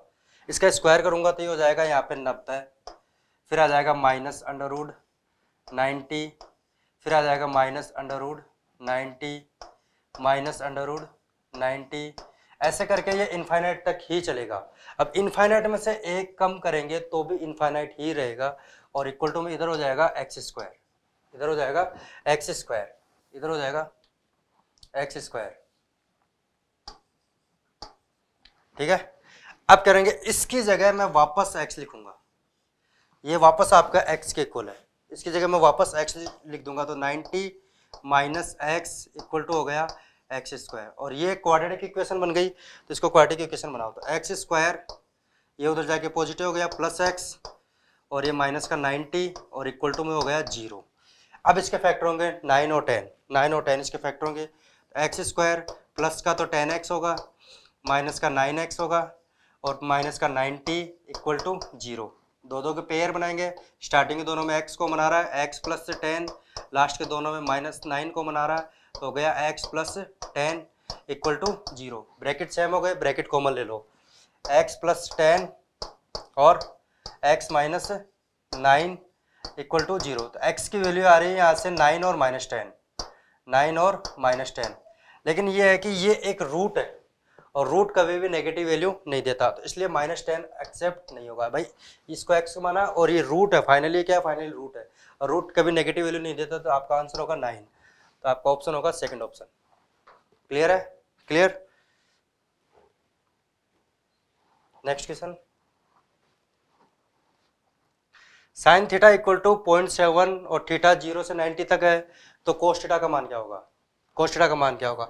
इसके लिए हम निकालेंगे एक फॉर्मूला आपको बेसिक फॉर्मूला है sine square theta plus cos square theta equal to होता है वन आपको कोस का मान निकालना तो ये उधर जाके वन माइनस साइन स्क्वायर और कोस का अंडर रूट लग जाएगा। तो कोस थीटा मान कितना होगा?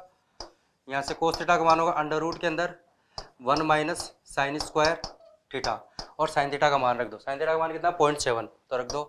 अंडर रूट के अंदर वन माइनस पॉइंट सेवन का होल स्क्वायर पॉइंट सेवन का whole square point forty nine होगा। Point forty nine. और वन में से पॉइंट फोर्टी नाइन माइनस करेंगे तो क्या आएगा? Point five one. तो आपका ऑप्शन होगा third option. Clear? Next question. x plus one upon x की वैल्यू थ्री है। x प्लस एक्स की power five plus one upon x की पावर फाइव की वैल्यू क्या होगी? तो बहुत आसान क्वेश्चन है, थोड़ा ध्यान से देखना। इसका होल स्क्वायर करते हैं पहले हम, इसका होल स्क्वायर करेंगे। तो x plus one upon x का होल स्क्वायर इक्वल टू हो गया थ्री का स्क्वायर तो हो गया x square plus one upon x square A square plus B square plus two A B plus two A B तो क्या होगा? Two into x into one upon x equal to हो गया इधर नाइन यहाँ पे एक्स एक्स कैंसिल हो गया। X square plus one upon x square की वैल्यू कितनी आई? नाइन आएगी। Sorry nine minus two equal to आएगा सेवन। इसकी वैल्यू कितनी आ गई? सेवन आ गई। X square plus one upon x square की वैल्यू सेवन आ गई। एक अपने को इसका क्यूब की वैल्यू भी चाहिए तो इसका क्यूब निकालते हैं। इसका दोनों साइड क्या करते हैं? होल क्यूब करते हैं इसका। इसका होल क्यूब करते हैं। तो x plus one upon x का होल क्यूब इक्वल टू होगा थ्री का क्यूब। तो होगा A cube plus B cube plus three A B और फिर आएगा ए प्लस बी फॉर्मूला होता है A cube plus B cube plus three A B A plus B और थ्री का क्यूब होगा ट्वेंटी सेवन ट्वेंटी सेवन ठीक है? और ये दोनों कैंसिल हो गए। X plus one upon x की जगह हम रख देंगे three x plus one upon x की जगह थ्री रख देंगे। तो हो गया x cube plus one upon x cube और ये हो जाएगा थ्री और इसकी जगह हम रख देंगे थ्री इक्वल टू हो गया ट्वेंटी सेवन ये नाइन हो गया नाइन उधर जाके माइनस होगा तो एट्टीन हो गया। Twenty seven minus eight nine eighteen, x cube sorry x cube x cube plus one upon x cube equal to होगा twenty seven minus nine, eighteen आएगा। तो x cube plus one upon x cube की value होगी eighteen. ये आपका इन दोनों की value हो गई। अब अपने को निकालनी है एक्स की power five plus one upon x की पावर फाइव। इसके लिए एक बेसिक फॉर्मूला लगेगा ये, एक्स की power five plus one upon x की पावर फाइव इक्वल टू होगा x cube plus one upon x cube into x square plus one upon x square minus x plus one upon x ये होगा इसका formula आप इसको solve करोगे तो x की power five plus one upon x की पावर फाइव ही आएगा. यहाँ से देखो एक्स की पावर फाइव और ये इससे होगा एक्स आएगा तो वो एक्स एक्स कट जाएगा, ये इससे मल्टीप्लाई होगा एक्स की पावर फाइव आएगा, और ये इससे होगा तो वन अपॉन एक्स आएगा, वो भी कैंसिल हो जाएगा तो इन सब की वैल्यू अपने को पता है। X cube plus one upon x cube की वैल्यू है eighteen into x square plus one upon x square की वैल्यू है सेवन माइनस इसकी वैल्यू कितनी है?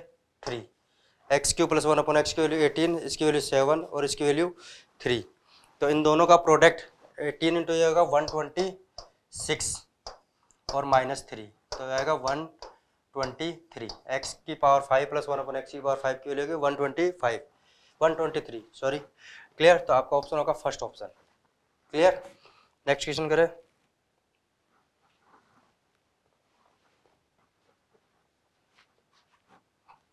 The angle of elevation of top of tower from the point P and Q at a distance of A and B respectively from the base of tower and in the same straight line with it are complement then height of the tower is किसी tower के निम्न बिंदु से, ध्यान से देखना question का पहले हम डायग्राम बनाते हैं। किसी टावर के निम्न बिंदु से, निम्न बिंदु से ए तथा बी दूरी पर। एक तो है ए दूरी, यहाँ से लेके यहाँ तक की दूरी है ए और एक है यहाँ से लेके यहाँ तक की दूरी है बी यहाँ से लेके यहाँ तक की दूरी है बी तो एंगल ऑफ़ एलिवेशन इन दोनों पॉइंट से ए ये पॉइंट आपका पी पॉइंट है, और ये पॉइंट आपका क्यू पॉइंट है। इन दोनों पॉइंट से एंगल ऑफ़ ये एंगल ऑफ़ ये होगा। ये होगा।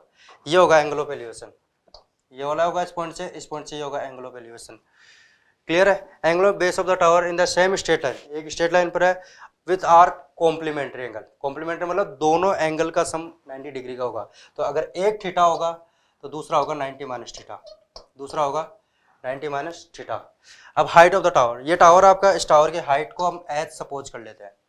इस टावर की हाइट को एज सपोज़ कर लेते हैं। अब इसके अंदर मैं लगाऊँगा टेन थीटा और इसके अंदर लगाऊँगा टेन थीटा तो टेन थीटा पहले छोटे वाले ट्राइंगल के अंदर लगाऊँगा tan theta tan theta equal to होगा perpendicular upon base perpendicular upon base यानी कि लंब बटे आधार। लंब कितना है अपना? एच और आधार कितना है?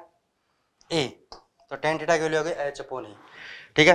अब मैं बड़े वाले ट्राइंगल में लगाऊँगा इसमें। बड़े वाले ट्राइंगल में। इसमें लगाऊँगा टेन थीटा तो ये हो जाएगा टेन थीट यहाँ पे थीटा कितना ninety minus theta. Tan, ninety minus theta. Perpendicular upon base, यहाँ पे एच और यहाँ पे बेस पूरा बी आएगा तो एच अपॉन बी हो जाएगा। और टेन, नाइन्टी माइनस थीटा क्या होता है? Cot theta. Tan, ninety minus theta क्या होता है? Cot theta. Cot theta equal to हो गया एच अपॉन बी। अब मैं क्या करूँगा इन दोनों, अपने को एच निकाला है तो इन दोनों इक्वेशन को मैं क्या करूँगा? मल्टीप्लाई करूँगा। इन दोनों को मल्टीप्लाई करूँगा तो ये हो गया tan theta into cot theta. Equal to हो गया H upon A into H upon B ये दोनों tan theta into cot theta की वैल्यू वन होती है। वन इक्वल टू हो गया H square upon A B तो एच स्क्वायर इक्वल टू हो गया A B H equal to क्या हो गया? Root A B H equal to height of the tower is root A B height of the tower is root A B तो आपका option होगा first option clear the angle of elevation of top of a tower from the distance 100 metre from its foot is 30 degree वो same question है। Angle of elevation of top of tower from the इस, इसका tower का angle of elevation अपने पास कितना है? Thirty degree का है। एंगल ऑफ़ एलिवेशन कितना है? थर्टी डिग्री का। और ये बोल रखा है from the distance hundred metre from its foot इसके फुट से, ये टावर का फुट है, इससे हंड्रेड मीटर है। ये डिस्टेंस कितनी है? हंड्रेड मीटर है। हंड्रेड मीटर है। तो then height of the tower height of the tower tower की हाइट निकालनी है। तो सेम आपको फॉर्मूला लगाना टेन थीटा तो टेन थीटा तो टेन यहाँ पे एंगल दे रखा है। थीटा की वैल्यू कितनी है? थर्टी डिग्री इक्वल टू होगा height perpendicular pole base base कितना है? हंड्रेड और टेन थर्टी की वैल्यू होती है one upon root three equal to हो गया एच अपॉन हंड्रेड तो एच इक्वल टू हो गया hundred root three hundred upon root three by cross multiply hundred upon root three तो ऑप्शन है first option clear next question है a pole stand vertically inside the a scalene triangular park ABC एक pole है, जो एक triangular park ABC के अंदर खड़ा है। ये क्या है? एक ट्राइंगुलर पार्क है, ये क्या है? विसंभव त्रिभुज है अलग अलग भुजा है। इनके अंदर एक पोल खड़ा है, यहाँ पे ये इस टाइप से एक पोल है। ठीक है? यहाँ पे एक पोल इस टाइप से स्टैंड है। ठीक है? The angle of elevation of top of tower from the pole of each corner of the park is the same अब इसको आप ध्यान से समझना। ये पोल है, इसका, इसकी हाइट हमेशा सेम रहेगी। इस पॉइंट से इसका एंगल और इस पॉइंट से इसका ये वाला एंगल यहाँ पे जो एंगल बनेगा वो एंगल और इस पॉइंट से। तीनों का एंगल सेम है। एंगल सेम है तो ये वाला एंगल और ये वाला एंगल ये वाला एंगल तीनों एंगल सेम है। तो इसका मतलब ये हाइट भी सेम है और एंगल भी सेम है। तो इसका मतलब यहाँ से लेके यहाँ तक की लेंथ और यहाँ से लेके यहाँ तक की लेंथ और यहाँ से लेके यहाँ तक की लेंथ ये तीनों लेंथ सेम होगी। कैसे? जैसे मान लो ये इस टाइप से ट्राइंगल बनेगा। यहाँ पे ये ट्राइंगल बनेगा इस इस टाइप से। तो ये हाइट तीनों में सेम है और ये एंगल तीनों में सेम है। तो ये तीनों में सेम है तो अगर टेन थीटा लगाए तो ये बेस भी तीनों में सेम होगा। ये बेस भी क्या होगा? तीनों में सेम होगा। तो इसका मतलब ये तीनों का बेस बनेगा इस ट्राइंगल में। क्योंकि एंगल ऑफ़ एलिवेशन सेम है तो तीनों का बेस सेम है। तो ये तीनों सेम है।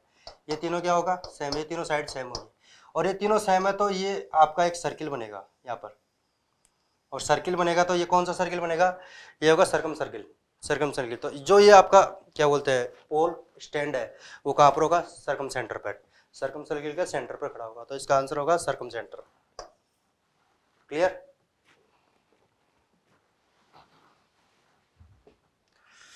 root three root three का वैल्यू बताना है इसका। तो इसको हम अंदर से सोल्व करेंगे। तो सबसे पहले इसकी वैल्यू निकालें। रूट का मतलब होता है पावर वन बाई टू तो ये हो जाएगा इसकी वैल्यू होगी पावर वन बाई टू और फिर इसके बाहर क्या है? थ्री और फिर इसके बाहर एक और रूट है, फिर थ्री है, फिर इसके बाहर एक और रूट है, फिर थ्री है और फिर इसके बाहर एक और रूट है. क्लियर है? इस थ्री की जगह में लिख दिया, इस रूट थ्री की जगह लिख दिया थ्री की पावर वन बाई टू फिर इस थ्री को बाकी सब सेम है. अब ये दोनों बेस सेम है तो इन दोनों की पावर ऐड हो जाएगी. तो इसकी पावर कितनी है? वन है. तो one plus one by two कितना हो जाएगा? थ्री बाई टू तो इसका सोल्यूशन होगा बाकी तो सेम रहेगा। थ्री रूट के अंदर थ्री और रूट के अंदर ये हो जाएगा थ्री की पावर थ्री बाई टू ये हो जाएगा। थ्री की पावर थ्री बाई टू अब इसके ऊपर एक और पावर रूट लग रहा है तो इसका मतलब इसकी पावर कितनी हो जाएगी? वन बाई टू और पावर पर पावर होती है तो दोनों क्या होती है? मल्टीप्लाई होती है। तो हो जाएगा थ्री ये थ्री और ये हो जाएगा थ्री की पावर थ्री बाई टू और उसकी पावर कितनी है? वन बाई टू ये वन बाई टू कहाँ से है? इस रूट की वैल्यू आएगी अब ये कितना हो जाएगा? थ्री बाई फोर हो जाएगा। ये हो जाएगा थ्री बाई फोर तो रूट के अंदर थ्री और फिर रूट के अंदर थ्री और ये हो जाएगा थ्री की पावर थ्री बाई फोर हो जाएगा। अब वा, वापस बेस वही कॉन्सेप्ट आ गया। दोनों का बेस सेम है तो पावर ऐड हो जाएगी। पावर ऐड हो जाएगी तो ये पावर कितनी हो जाएगी? फोर प्लस थ्री कितना हो जाएगा? सेवन बाई फोर हो जाएगा। तो ये आ जाएगा थ्री और रूट के अंदर ये हो जाएगा थ्री की पावर सेवन बाई फोर हो जाएगा। अब इसका रूट लेंगे। इसका रूट लेंगे तो इसकी पावर वापस वन बाई हो जाएगी तो सेवन बाई फोर की पावर वन बाई टू लगाएँगे तो सेवन बाई एट हो जाएगा। ये हो जाएगा थ्री और ये थ्री की पावर कितनी हो जाएगी? सेवन बाई एट हो जाएगी। फिर दोनों का बेस सेम है तो पावर एट हो जाएगी। इसकी पावर कितनी है? वन है। तो one plus seven by eight कितना हो जाएगा? फिफ्टीन बाई एट हो जाएगा। तो हो जाएगा रूट के अंदर थ्री की पावर फिफ्टीन बाई एट हो जाएगा। अब इसके ऊपर एक और रूट लग रहा है। एक और उसकी पावर कितनी होगी? वन बाई टू तो ये हो जाएगा थ्री की पावर फिफ्टीन बाई एट और उसकी पावर वन बाई टू तो हो जाएगा फाइनली थ्री की पावर फिफ्टीन अपॉन सिक्सटीन तो आपका फाइनल आंसर है सेकेंड क्लियर तो इस तरीके सोल्व होगा। द वैल्यू ऑफ़ इसकी वैल्यू बता बतानी है। रूट सेवन रूट सेवन ये ये पिछले क्वेश्चन में यहाँ पे सिर्फ़ चार टर्म थे यहाँ पे ये इनफाइनाइट तक है। ठीक है? तो आप वो ये, इसको आप एक्स सपोज़ करो। इसको आप एक्स सपोज़ करो। इनफाइनाइट तक इसका एक्स सपोज़ अब क्या करो, आप इसका स्क्वायर कर दो। स्क्वायर करोगे तो यहाँ पे हो जाएगा सेवन और ये रूट के अंदर सेवन सेवन सेवन ये इनफाइनाइट तक चलेंगे। और इधर क्या हो जाएगा एक्स स्क्वायर इधर क्या हो जाएगा एक्स स्क्वायर अब इसकी जगह वापस एक्स बोल सकते हो, क्योंकि इन्फाइनाइटम से वही एक कम करेंगे तो इन्फाइनाइट ही रहेगा। तो ये क्या हो जाएगा सेवन एक्स इक्वल टू क्या हो गया एक्स स्क्वायर एक एक्स कैंसिल हो गया तो एक्स की वैल्यू कितनी आ गई सेवन और इसी को आपने एक्स सपोज़ किया था। तो फ़र्स्ट ऑप्शन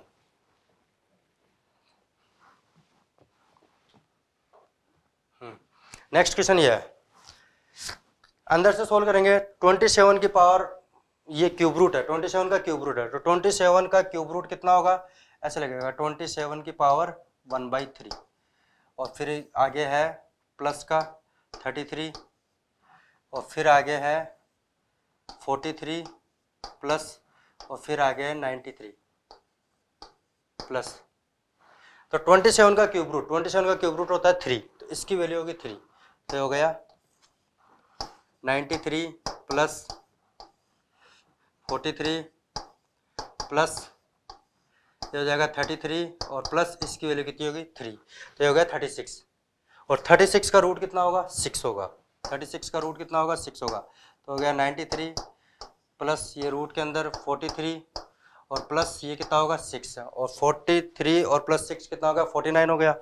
फोर्टी नाइन हो गया। तो हो गया ये नाइन्टी थ्री प्लस ये रूट के अंदर फोर्टी नाइन। और फोर्टी नाइन का रूट कितना होगा? सेवन। सेवन होगा। तो हो गया नाइन्टी थ्री प्लस ये सेवन। और नाइन्टी थ्री प्लस सेवन कितना होगा हंड्रेड। और हंड्रेड का रूट कितना होगा? टेन। आपका ऑप्शन होगा फ़र्स्ट। यहाँ पे प्लस माइनस नहीं आएगा, क्योंकि रूट कभी नेगेटिव वैल्यू नहीं देगा तो इसका आंसर आपका फ़र्स्ट ही आएगा। Clear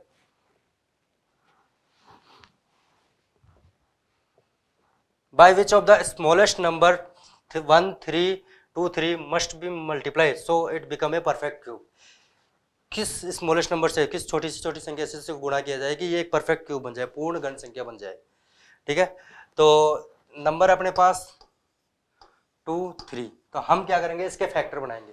prime factor prime factor तो मैं इसको मैं इसको मतलब थ्री से डिवाइड करता हूँ। सब सिंपली सबसे पहले मैं थ्री से डिवाइड करता हूँ। तो थ्री से डिवाइड करूँगा तो ये हो जाएगा फोर यहाँ पे बच गया वन ये आएगा फोर और यहाँ पे आएगा वन इन टू थ्री इसको मैं ऐसा लिख सकता हूँ। One three one three two three को मैं ऐसे लिख दिया फोर इंटू फोर और इसके फैक्टर होंगे twenty one into twenty one twenty one into twenty one into three twenty one के फैक्टर को लो seven into three seven into three तो इसके लिखेंगे देखो थ्री को ये हो जाएगा three into three into three into seven into seven एक थ्री यहाँ से है एक थ्री यहाँ से है एक थ्री ये रहा। तो तीन बार तो थ्री हो गए और दो सेवन यहाँ से आ गए अब ये किस से मिनिमम किस नंबर से मल्टीप्लाई होगा? उनका क्यूब रूट निकल जाए तो देखो, इन तीनों का क्यूब रूट निकल जाएगा इजीली तो यहाँ पर अगर एक सेवन और होता तो उसका क्यूब रूट निकल जाता इजीली बात समझ में आ रही? एक सेवन और होता तो मिनिमम किस से मल्टीप्लाई होगा? सेवन से।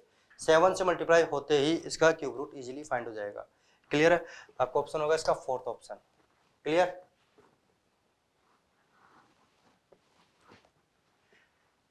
हाँ इसकी वैल्यू बतानी है। Hundred minus one hundred minus two hundred minus three और हंड्रेड माइनस टू हंड्रेड और नीचे ही है। क्लियर तब इसमें एक है? इसको आप डोटेड इसके अंदर बीच में आएगा हंड्रेड माइनस हंड्रेड भी आ जाएगा। बीच में आ जाएगा hundred minus hundred three four five six seven nine ten दो सौ तक जा रहा है। तो बीच में कहीं ना कहीं हंड्रेड माइनस हंड्रेड भी आएगा। और हंड्रेड माइनस हंड्रेड क्या होगा? ज़ीरो। और ये ज़ीरो होते ही ये पूरा चाहे अंदर, इधर कुछ भी कैलकुलेशन हो, कुछ भी कैलकुलेशन हो, ज़ीरो से मल्टीप्लाई होने पर आंसर क्या आएगा? ज़ीरो। तो इसका आंसर होगा finally zero. First option clear root of the equation इस इक्वेशन के रूट निकाल हैं। क्वाड्रिक इक्वेशन है फैक्टर करना है तो टू एक्स स्क्वायर इसके होंगे थ्री और फाइव मतलब माइनस के two x square two x minus three x. Quadratic factor करने इसके इक्वल टू ज़ीरो फाइव को लिख दिया three minus two minus five को माइनस टू माइनस थ्री लिख दिया।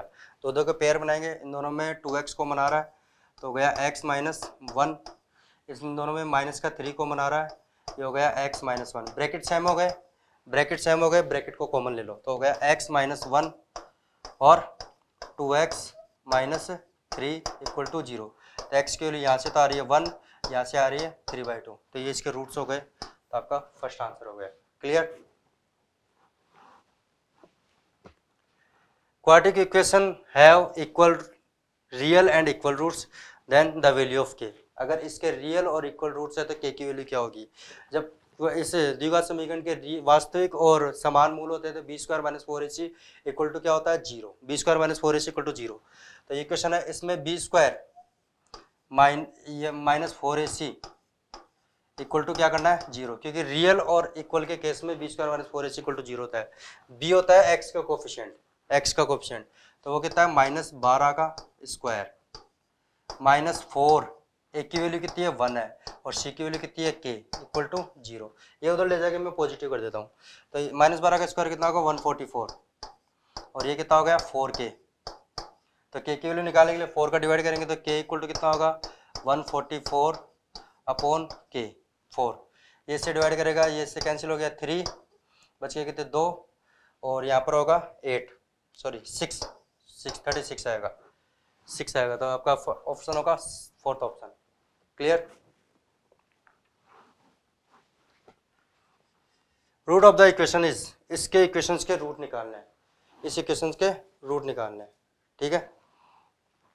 तो रूट्स निकालने तो हम क्या करेंगे, ऊपर से कॉमन आ रहा है एक्स की पावर 218 कॉमन आ रही है। ऊपर से कॉमन आ रही है एक्स की पावर 218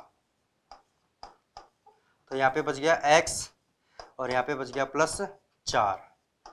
नीचे है फोर इंटू एक्स की पावर दो सौ सत्रह। और इक्वल टू में कितना है? Two four four nine point two five अब x की पावर 218 और x की पावर 217 तो ऊपर बच जाएगा x की पावर 217 x x की पावर वन बच जाएगी। x की पावर क्या होगी? वन होगी। x और ये होगा x प्लस फोर और ये जो नीचे वाला फोर है, ये क्रॉस मल्टीप्लाई हो जाएगा। तो ये हो जाएगा four into four two four four nine point two five और इन दोनों को मल्टीप्लाई करेंगे। इन दोनों को मल्टीप्लाई करेंगे। तो आपके पास आएगा नाइन सेवन नाइन सेवन। तो और इसको भी अंदर मल्टीप्लाई कर दो तो हो गया x square plus four x इन दोनों को मल्टीप्लाई करने पर आ रहा है नाइन सेवन नाइन सेवन। और ये इधर आके क्या हो गया? माइनस का हो गया। तो हो गया एक्स स्क्वायर प्लस का फोर एक्स माइनस का नाइन्टी सेवन और नाइन्टी सेवन। अब हम करेंगे इसके फैक्टर अब हम इसके फैक्टर करेंगे। तो इसके फैक्टर होंगे ये वन ज़ीरो वन और नाइन्टी सेवन। इन दोनों को मल्टीप्लाई करने पर ये आएँगे। तो इन दोनों का गैप भी चार का है। चार का गैप है। क्लियर है? यहाँ से ऑप्शन के अकॉर्डिंग भी देखे, इनका चार का गैप है और अपने को चार का गैप चाहिए तो इसके फैक्टर ऐसे होंगे। X square plus one zero one x minus का नाइन्टी सेवन एक्स और माइनस का ninety seven ninety seven equal to zero चार का गैप है, चार का और इन दोनों को मल्टीप्लाई करेंगे तो नाइन्टी सेवन नाइन्टी सेवन ही आएगा, ठीक है? अब दो दो के पेयर बनाएँगे स्टार्टिंग में दोनों में एक्स को आ गया तो हो गया x plus one zero one और इसमें नाइन्टी सेवन कॉमन आ गया। ये भी हो जाएगा x plus one zero one equal to zero bracket same हो गए। X plus one zero one और ये आ गया x minus ninety seven equal to zero तो एक्स की वैल्यू क्या आएगी? ये नाइन्टी सेवन उधर जाके पॉजिटिव हो गया नाइन्टी सेवन और माइनस का वन ज़ीरो वन ये आपका आंसर हो गया। तो आपका ऑप्शन है first option clear next question है। Arithmetic mean of first five number first five prime number first five prime number का अर्थमेटिक मीन क्या होगा? तो यहाँ पर आप एक चीज़ देखना, पहला प्राइम नंबर जिससे बात करें, वन। वन आपका प्राइम नंबर में इंक्लूड नहीं होता। तो फ़र्स्ट प्राइम नंबर आपका होगा टू। नेक्स्ट होगा थ्री। फिर होगा फाइव। फिर होगा सेवन। और फिर होगा एट, नाइन, टेन, इलेवन। ये होंगे। फ़र्स्ट फाइव प्राइम नंबर आपके ये होंगे। अब इन सबका क्या निकालना है आपको? मीन निकालना है। इन सबका मीन निकालना है। तो मीन निकालने के लिए इन सबको क्या करेंगे? प्लस करेंगे। इन सबको प्लस करेंगे। अपॉन टोटल कितने हैं? पाँच है। तो इनका सम हो गया दस, सात अट्ठारह अट्ठाईस। अट्ठाईस बटे पाँच तो आपका आएगा फाइव पॉइंट सिक्स है तो ना? छप्पन। फाइव पॉइंट सिक्स आएगा इसका ऑप्शन होगा आपका second option clear next question है। इस सीरीज़ का सम निकालना है हंड्रेड टर्म्स तक। हंड्रेड टर्म्स तक इनका क्या निकालना है? सम निकालना है। तो इस सीरीज़ को हम थोड़ा सा आप देखो, ना तो ये एपी की सीरीज़ है, ना ये कोई और टाइप तो इसको क्या करेंगे हम? दो भागों में तोड़ेंगे। इसको दो भागों में तोड़ेंगे, ऐसे करेंगे। वन सिक्स और इलेवन इनको तो अलग लेंगे और फोर फाइव सिक्स इनको अलग लेंगे। ठीक है? तो टोटल हंड्रेड तक का निकालें तो पचास तो एक हो जाएँगे पचास एक हो जाएँगे। टोटल सौ हो जाएँगे। तो आ जाएगा वन प्लस सिक्स, सम निकालना तो बीच में प्लस लगा रहा हूँ। प्लस इलेवन, और ये कितना होगा? पचास टर्म होंगे। कितने होंगे? पचास टर्म होंगे। पचास टर्म्स होंगे। और फोर फोर, फाइव, और ये सिक्स, इनको अलग लेंगे। ये भी कितने टर्म होंगे? पचास टर्म्स होंगे। पचास टर्म्स होंगे। ठीक है? इन दोनों को अलग अलग सम निकालेंगे, फिर दोनों को ऐड कर लेंगे। क्योंकि टोटल सौ टर्म है तो पचास इसके हो गए, पचास इसके हो गए। ठीक है? इसमें फॉर्मूला लगाते थे n by two n by two two a plus n minus one s n का फॉर्मूला होता है n by two two a plus n minus one into d s n का फॉर्मूला ये होता है। तो लगो एन का वैल्यू है पचास है। पचास बटे दो two a two into a की वैल्यू वन है plus n minus one n n का मतलब पचास पचास माइनस ए कितना होगा? उनचास. और डी डी होता है कॉमन डिफरेंस कॉमन डिफरेंस कितना है? पाँच का. कॉमन डिफरेंस यहाँ पे कितना है? पाँच का. प्लस इसका निकाला, वही n by two n by two यहाँ पे कितना है? पचास बटे दो two a two into a की वैल्यू कितनी है? Four plus n minus one n minus one कितना होगा? उनचास। और डी यहाँ पर वन है। डी यहाँ पर कितना है? वन है। ये दोनों कैंसिल हो गए पच्चीस। और ये भी इससे कैंसिल हो गया पच्चीस। एक काम करते हैं, इसमें से पच्चीस कॉमन ले लेते हैं। पच्चीस कॉमन ले लेते हैं। तो पच्चीस कॉमन ले लिया तो ये हो गया दो प्लस, ये हो जाएगा फोर्टी नाइन इंटू फाइव और यहाँ पे आ जाएगा एट प्लस ये हो जाएगा फोर्टी नाइन इंटू वन अब इसमें और इसमें फोर्टी नाइन कॉमन आ रहा है। इसमें और इसमें फोर्टी नाइन कॉमन आ रहा है। और टू और टू और एट कितने हो गए?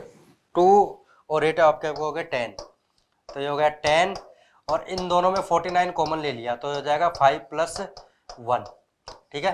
ये हो गया सिक्स तो हो गया ट्वेंटी फाइव ये हो गया टेन ये हो जाएगा फोर्टी नाइन इंटू सिक्स और forty nine into six forty nine into six होगा आपका two ninety four forty nine into six कितना होगा? टू नाइन्टी फोर तो हो गया ट्वेंटी फाइव ये होगा ten plus two ninety four होगा टू ट्वेंटी फाइव ये हो जाएगा थ्री ज़ीरो फोर और थ्री ज़ीरो फोर को ट्वेंटी फाइव से मल्टीप्लाई करेंगे तो पच्चीस का सौ।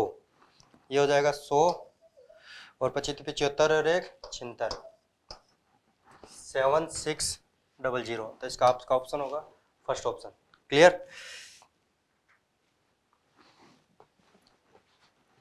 next question sum of the are two digit number which which will exactly divisible by nine जो नाइन से डिवाइड होंगे टू डिजिट नंबर तो टू डिजिट नंबर आपका स्टार्ट होता है टेन से. टू डिजिट नंबर आपका स्टार्ट कहाँ से होगा? टेन से. तो पहला टू डिजिट नंबर कितना होगा? जो नाइन से डिवाइड होता है. पहला टू डिजिट नंबर कितना होगा? जो नाइन से डिवाइड होता है, वो होगा आपका एटीन पहला टू डिजिट नंबर कौन सा होगा? एटीन तो पहला होगा एटीन दूसरा होगा ट्वेंटी सेवन क्लियर और इस तरीके से लास्ट का होगा ninety nine two digit number two digit की बात कर रहा है लास्ट का होगा नाइन्टी नाइन ठीक है, इन सब का आपको क्या चाहिए? सम चाहिए। तो इसका सम निकालने के लिए पहले आपको इनका क्या चाहिए? ये कितने टर्म्स होंगे? एन ए एन तो हम ये वाला फॉर्मूला लगाएँगे। नंबर ऑफ़ टर्म चाहिए। इसके लिए पहले ये फॉर्मूला लगाएँगे। A n minus one into d इसकी वैल्यू कितनी है? नाइन्टी नाइन ए की वैल्यू कितनी है? Eighteen plus n n minus one n तो निकालना है और डी कितना है अपने को? नाइन ये डी कितना नाइन ये इधर आके माइनस का होगा, ये हो जाएगा नाइनटी नाइन माइनस एटीन ये कितना होगा? एट्टी वन एट्टी वन ये हो गया n minus one into nine और ये नाइन डिवाइड होगा नाइन डिवाइड होगा तो n minus one equal to eighty one upon nine ये से कैंसिल हो गया नाइन एन इक्वल टू कितना आ गया? टेन आ गया। मतलब टोटल ये टेन टर्म्स है। अब आपको इनका सबका सम चाहिए तो सम के लिए फॉर्मूला होता है S n equal to n by two a plus l a plus l n की वैल्यू कितनी है अपने पास? टेन तो ten upon two a a होता है आपका फ़र्स्ट टर्म फ़र्स्ट टर्म कितना? Eighteen first term eighteen plus last term is ninety nine ninety nine eighteen और नाइनटी नाइन ठीक है? तो इन दोनों का सम होगा, ये हो गया फाइव बाई टू इन दोनों का सम होगा one one seven one one seven अब इसको हम फाइव से मल्टीप्लाई करेंगे. फाइव से मल्टीप्लाई करेंगे तो आपके पास आएगा five eight five five eight five तो इनका सम होगा फाइव एट फाइव तो ऑप्शन होगा आपका second option clear next question है। Cube root of one three three one. तो वन थ्री थ्री वन का क्यूब रूट कितना होगा? तो वन थ्री थ्री वन का क्यूब रूट होगा अपना इलेवन। इलेवन होगा, क्योंकि इलेवन को लास्ट डिजिट वन है, वन को वन को तीन बार मल्टीप्लाई करेंगे तो वन आएगा। तो इलेवन और ट्वेंटी वन में आ रहा है। भाई टेन का तो हंड्रेड होगा नाइन का भी नहीं होगा। तो इलेवन और ट्वेंटी वन में से एक होगा तो आपके पास आएगा, यहाँ पे इलेवन ऑप्शन आएगा। Next question the mean mode, if the mean and median of are 4 and 5 respectively, then mode क्या होगा? मोड क्या होगा? तो इनमें मीन और मीडियन के बीच में एक रिलेशन होता है। तो वो होता है three median three median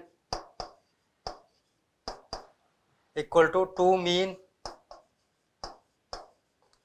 plus mode ये रिलेशन होता है। Three median equal to two mid two mean plus mode, ठीक है? तो यहाँ पे रखते हैं। मीन तो कितना अपने पास फोर है तो हो गया थ्री, और मीडियन कितना अपने पास फाइव है?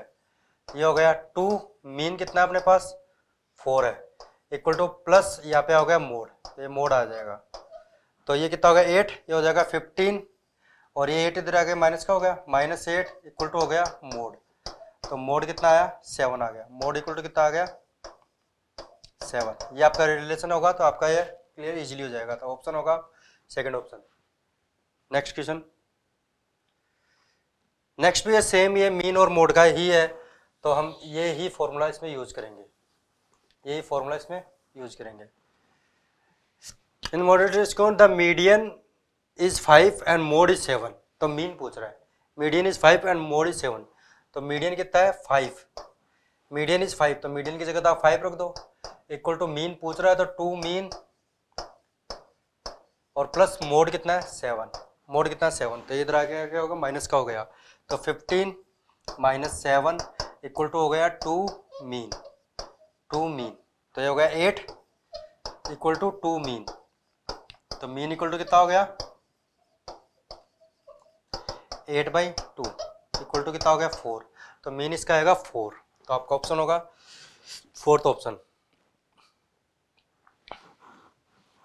next question list number of five digit which is divisible by forty one.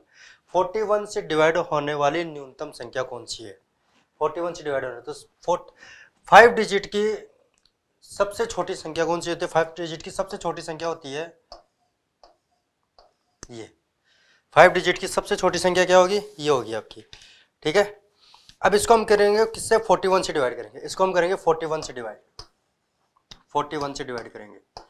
तो 41 से डिवाइड करेंगे तो ये आपका जाएगा सबसे पहले टू टाइम्स बार ये आ जाएगा टू टाइम्स बार और टू टाइम्स बार जाएगा तो ये होगा 82 82 रिमाइंडर बच गया आपका यहाँ पे 18 और ये लास्ट में ये जी ज़ीरो उतार लिया। और ये ज़ीरो उतारते ही आपके पास ये आएगा यहाँ पे फोर टाइम्स बार जाएगा। फोर टाइम्स बार जाएगा। और इसको फोर टाइम्स बार करेंगे फोर और ये होगा सिक्सटीन तो अभी यहाँ पे रिमाइंडर बच गया आपका सोलह। फिर एक ज़ीरो बच गई, इसको भी उतार लो। फिर अब ये जाएगा आपके पास यहाँ पे वन सिक्सटी फोर ज़्यादा हो गया तो थ्री टाइम्स बार जाएगा। थ्री टाइम्स बार तो ये हो गया थ्री और ये हो गया चार थी बारह। बारह, वन ट्वेंटी थ्री हो गया। अब यहाँ पे रिमाइंडर बच रहा है आपका थर्टी सेवन बच रहा है थर्टी सेवन मतलब थर्टी सेवन रिमाइंडर अब इसमें अगर मैं चार और ऐड कर दूँ तो अगर यहाँ थर्टी सेवन की जगह फोर्टी वन होता तो ये एक बार और कंप्लीट डिवाइड हो जाएगा तो इसका मतलब इस नंबर में चार और ऐड करना पड़ेगा। चार और ऐड करते ही ये नंबर कंप्लीटली फोर्टी वन से डिवाइड हो जाएगा।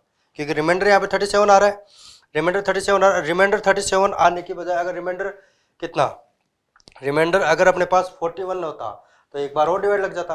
तो इसका मतलब फोर्टी वन कब आएगा? जब इसमें चार और बड़ा होता है नंबर ये नंबर चार और बड़ा होता। तो इसका मतलब आपके पास जो लिस्ट नंबर होगा फोर डिजिट फाइव डिजिट का, वो होगा वन ज़ीरो ज़ीरो फोर तीन बार ज़ीरो फोर ये आएगा। तो आपका ऑप्शन होगा इसमें सेकंड ऑप्शन होगा। क्लियर है? Next question difference difference of the mean and median of the data in data का मीन और मीडियन का डिफरेंस निकालना है। तो पहले तो मीन निकालते हैं। मीन कैसे निकलेगा? इन सबको ऐड करेंगे upon total number of add तो ये हो जाएगा टेन टेन और ये सिक्सटीन ट्वेंटी सिक्स और फोर और ये कितना होगा? फाइव तो कितना होगा? इनका सम होगा थर्टी फाइव इनका मीन निकालने के लिए इनका सम कितना होगा? थर्टी फाइव अपॉन टोटल कितने हैं? चार, तीन, सात। तो मीन आ गया इनका फाइव आ गया। मीन कितना होगा? फाइव होगा। और मीडियन निकालने के लिए क्या करते हैं? मीडियन निकालने के लिए इनको असेंडिंग ऑर्डर में लिखते हैं। और ये असेंडिंग ऑर्डर में ऑलरेडी लिखे हुए हैं। अब इनमें जो बीच का होगा, वो आपका क्या होगा? मीडियन होगा। तो तीन यहाँ से छोड़ा मैंने और तीन यहाँ से छोड़ा। तो बीच में कौन हो गया? ये हो गया। तो मीडियन क्या होगा? मीडियन भी क्या होगा? आपका फाइव होगा। और इन दोनों का डिफरेंस पूछ रहा है, इन दोनों का डिफरेंस कितना होगा? ज़ीरो तो आपका ऑप्शन होगा फोर्थ ऑप्शन हाँ. ए माइनस थ्री का whole cube whole square b minus four का whole square c minus nine का whole square equal to zero है तो इसकी वैल्यू बतानी है। Root of a plus b plus c की। अब यहाँ पे ये क्या है कि इन तीनों का स्क्वायर का योग आपके पास ज़ीरो आ रहा है। तो इसका मतलब देखो स्क्वायर हमेशा एक पॉजिटिव वैल्यू होती है। ये हमेशा एक पॉजिटिव वैल्यू होगी। और स्क्वायर ये भी पॉजिटिव होगा, और ये भी क्या होगा, एक पॉजिटिव होगा। तीनों एक पॉजिटिव संख्या, क्योंकि नेगेटिव नंबर का स्क्वायर भी पॉजिटिव नंबर होता है। तो ये भी एक पॉजिटिव है, ये भी एक पॉजिटिव है, ये भी एक पॉजिटिव है। तीनों पॉजिटिव है। अब तीन पॉजिटिव नंबरों को ऐड करने पर ज़ीरो कभी नहीं आ सकता। तीन पॉजिटिव नंबरों को ऐड करने पर ज़ीरो कभी नहीं आएगा। सिर्फ़ एक ही केस में आ सकता है कि ये तीनों ज़ीरो ये भी ज़ीरो, ये भी ज़ीरो, ये भी ज़ीरो। एक ही केस में आ सकता है। तो इसका मतलब ए माइनस थ्री की वैल्यू या इसका होल स्क्वायर होगा। इसकी वैल्यू भी क्या होगी? ज़ीरो होगी। बी माइनस फोर का होल स्क्वायर की वैल्यू भी क्या होगी? ज़ीरो होगी। और सी माइनस नाइन का होल स्क्वायर की वैल्यू कितनी होगी? ज़ीरो होगी। इन तीनों की वैल्यू ज़ीरो होगी तब तो zero plus zero plus zero, फिर इक्वल टू में ज़ीरो होगा। तो यहाँ से इसका तीनों का रूट ले लेंगे। तो यहाँ से ए की वैल्यू कितनी आ रही है? थ्री आ रही है। बी की वैल्यू कितनी आ रही है फोर आ रही है और सी की वैल्यू कितनी आ रही है नाइन आ रही है। अब आपको निकाला root a plus b plus c की वैल्यू तो रूट के अंदर इन तीनों का जोड़ तो three plus four plus nine तो नाइन चार, तेरह और तीन, सोलह। सोलह का रूट कितना होगा? चार। तो आपका ऑप्शन होगा इसमें fourth option clear next question ये है। इसका मान बताना है। तो ये ये इसमें, इसको हम ऐसे लिखेंगे पॉइंट वन का होल स्क्वायर और ये होगा पॉइंट ज़ीरो सेवन का होल स्क्वायर और ये होगा पॉइंट ज़ीरो ज़ीरो नाइन का होल स्क्वायर इसको लिखेंगे हम पॉइंट वन अपॉन टेन का whole square point one upon ten का होल स्क्वायर इसको लिखेंगे point zero seven upon ten का होल स्क्वायर इसको लिखेंगे point zero zero nine upon ten का होल स्क्वायर इसको इस तरीके से लिखेंगे और ये रूट पूरा। इसको हम इस तरीके से लिखेंगे। क्लियर है? क्लियर अब इसमें क्या करेंगे? ये जो अपॉन टेन का स्क्वायर कितना होगा? हंड्रेड यहाँ पे भी कितना होगा? हंड्रेड यहाँ पे भी कितना होगा? हंड्रेड ये हंड्रेड एलसीएम आएगा और ये एलसीएम आगे हंड्रेड क्या चला जाएगा, ऊपर चला जाएगा। तो ये ऐसा बन जाएगा। पॉइंट ज़ीरो वन का whole square plus point zero seven का whole square plus point zero zero nine का होल स्क्वायर अपॉन, ये आएगा। पॉइंट ज़ीरो वन का whole square, point zero seven का whole square, point zero zero nine का whole square. और जो नीचे हंड्रेड आया था, वो ऊपर आ जाएगा, यहाँ पे हंड्रेड। और ये इससे पूरा कैंसिल हो जाएगा। यहाँ पे बच गया रूट हंड्रेड रूट हंड्रेड बच गया। और रूट हंड्रेड की वैल्यू कितनी होती है? टेन तो आपका ऑप्शन आएगा इसमें फ़र्स्ट ऑप्शन फ़र्स्ट ऑप्शन आएगा। क्लियर हाँ इसका मान बताना है। One upon twelve one upon twenty one upon thirty forty two fifty six और सेवेंटी टू ठीक है? तो इसको हम ऐसे लिखेंगे। फोर इसको लिखेंगे वन अपॉन ट्वेल्व को लिखेंगे थ्री इंटू फोर इसको लिखेंगे ट्वेंटी को लिखेंगे फोर इंटू फाइव इसको लिखेंगे फाइव इंटू सिक्स इसको लिखेंगे सिक्स इंटू सेवन इसको लिखेंगे सेवन इंटू एट और इसको लिखेंगे एट इंटू नाइन इसको हम इस तरीके से मतलब इनको मल्टीप्लाई में चेंज करेंगे। अब इस मल्टीप्लाई को हम माइनस में चेंज करेंगे। कैसे करेंगे? इसको लिखेंगे one by three minus one by four इसको सोल्व करो, यही आएगा। एल्शियम लेंगे four into three four minus three one आएगा। क्लियर इसको लिखेंगे हम one by four minus one by five इसको सोल्व करने पर ये ही आएगा। क्लियर नेक्स्ट इसको लिखेंगे हम one by five minus one by six next same इसी तरह one by six minus one by seven, फिर आएगा one by seven minus one by eight, और फिर आएगा one by eight minus one by nine, ये आ गया। मतलब इस मल्टीप्लाई को माइनस में कन्वर्ट कर दिया। अब देखो, ये माइनस का ये कैंसिल हो गया, और ये प्लस का कैंसिल हो गया। ये प्लस और ये माइनस ये दोनों कैंसिल हो गए। ये दोनों कैंसिल हो गए। ये दोनों कैंसिल हो गए। ये दोनों कैंसिल हो गए। बचा गया फ़र्स्ट और लास्ट फ़र्स्ट और लास्ट बता यानी कि one by three minus one by nine. LCM कितना आ रहा है? नाइन आ रहा है। तो ये हो गया थ्री माइनस वन ये हो गया टू बाई नाइन तो आपका ऑप्शन होगा इसमें second option clear a b c की वैल्यू दे रही है a equal to b a और बी दोनों की वैल्यू थ्री थ्री है और सी की वैल्यू थ्री थ्री फोर है और इसका मान पूछ रहा है आपसे। ठीक है? तो इस a cube plus b cube plus c cube minus three a b c का आपका फॉर्मूला है, वो याद होना चाहिए। A cube plus b cube plus c cube minus three a b c equal to होता है one by two a plus b plus c फिर आएगा ए माइनस बी का whole square plus b minus c का whole square plus c minus a का whole square ये formula होता है। ये आपको एक फॉर्मूला याद होना चाहिए, ठीक है? ये होता है एक फॉर्मूला इसका इसका एक दूसरा फॉर्मूला हो रहा था, उसको इस फॉर्म में कन्वर्ट करने पर ये भी एक फॉर्मूला बनता है। ठीक है तो ये फॉर्मूला अप्लाई करो, तुरंत इसका आंसर आएगा। कैसे आएगा? वन बाई टू तीनों का सम इन तीनों का सम क्या होगा? थ्री थ्री थ्री और ये तीन बार करेंगे तो नाइन नाइन नाइन नाइन आएगा और इसमें एक ज़्यादा है। तो कितना हो जाएगा? इन तीनों का सम होगा हज़ार। हज़ार। फिर आएगा। ए माइनस बी इन दोनों का डिफरेंस करेंगे। ये ए और बी ए और बी दोनों सेम है तो ए माइनस बी की वैल्यू कितनी होगी? ज़ीरो होगी। ये हो जाएगा ज़ीरो का स्क्वायर बी माइनस सी इसमें से इसको माइनस करेंगे तो माइनस एक आएगा. माइनस एक आएगा. तो माइनस एक का square plus c minus a c minus a इसका मान कितना होगा? एक होगा. एक का स्क्वायर ठीक है? तो ये हो गया वन बाई टू ये हो गया हज़ार. और ये इंटू में रहेगा यहाँ पे. ये एक आ गया, ये भी एक आ गया. एक रहे कितने हो गए? दो. दो गए. और दो से दो कट गया. तो फाइनली आंसर कितना आ गया? हज़ार आ गया. तो इसका आपका ऑप्शन होगा first option x plus one upon x और y plus one upon y की वैल्यू वन है तो x cube plus y cube की वैल्यू कितनी होगी? तो इसको थोड़ा सा सोल्व करो, इसमें एल्शियम ले लो एक्स वाई तो हो गया x square plus y square equal to कितना होगा वन तो x square plus y square equal to क्या हो गया? एक्स वाई ठीक है? एक ये रिलेशन आ गया इससे। अब इसका फॉर्मूला होता है x cube plus y cube का फॉर्मूला होता है एक्स प्लस वाई ये होगा x square minus x y आता है, उसको मैं बाद में लिखूँगा plus y square minus x y ये फॉर्मूला होता है x cube plus y cube का। अब x square plus y square की जगह मैं रखूँगा x y x square plus y square की जगह क्या रखूँगा मैं? एक्स वाई रखूँगा। तो हो गया x y minus x y ये दोनों कैंसिल हो गए। फाइनली आंसर क्या आ गया?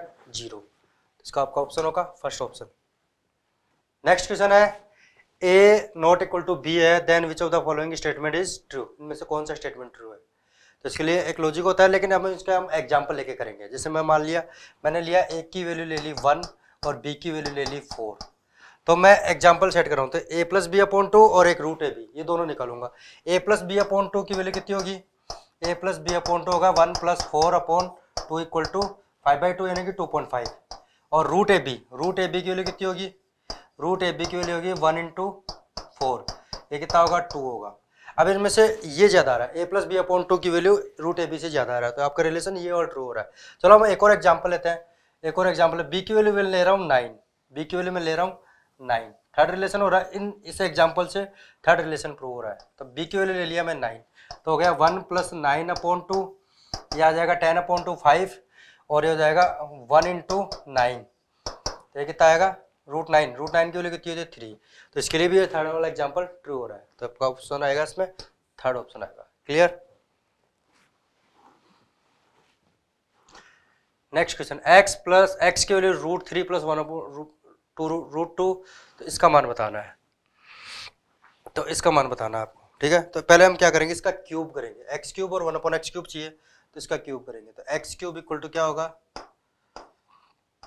Root three plus root two का होल क्यूब तो होगा ए क्यूब इसका क्यूब होगा three root three plus B cube इसका क्यूब होगा टू रूट टू फिर होगा plus three A B three root three और रूट टू और होगा A plus B. Root three plus root two. ठीक है? ये हो गया थ्री रूट थ्री। ये हो गया टू रूट टू। ये हो गया, ये root three root three multiply हो गया थ्री हो गया और थ्री और थ्री नाइन और ये हो जाएगा नाइन रूट टू। ये हो जाएगा nine root two plus root two root two multiply होगा टू और टू को थ्री से करेंगे तो सिक्स। ये हो जाएगा सिक्स रूट थ्री। ये हो जाएगा सिक्स रूट थ्री। ठीक है? तो ये हो जाएगा थ्री रूट थ्री और सिक्स रूट थ्री ये कितना हो गया? नाइन रूट थ्री और टू रूट टू और नाइन रूट टू ये हो जाएगा इलेवन रूट टू इलेवन ये हो गया आपका एक्स क्यूब की वैल्यू अब एक आपको चाहिए वन अपॉन एक्स क्यूब की वैल्यू तो वन अपॉन एक्स क्यूब यानी कि इसको नीचे लेना है। One upon nine root three plus eleven root two इसका हम करेंगे रैशनलाइज इसका रैशनलाइज करेंगे। तो nine root three minus eleven root two upon nine root three minus eleven root two. तो ऊपर तो वन हो गया, वन से मल्टीप्लाई हो गया सेम होगा, nine root three minus eleven root two. नीचे होगा इसका स्क्वायर इसका स्क्वायर होगा एट्टी वन इंटू थ्री और माइनस इसका स्क्वायर होगा one twenty one into two तो ये हो गया nine root three minus eleven root two upon eighty one into three तो होगा थ्री और ये होगा ट्वेंटी फोर और ये होगा टू फोर्टी टू। तो नीचे वन आ गया, नीचे वन आ गया। तो फाइनली आ गया nine root three minus eleven root two अब आपको करना है, इसको और इसको ऐड करना है।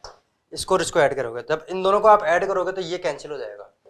ये वाला क्या हो जाएगा? कैंसिल हो जाएगा। और ये क्या हो जाएगा? डबल हो जाएगा।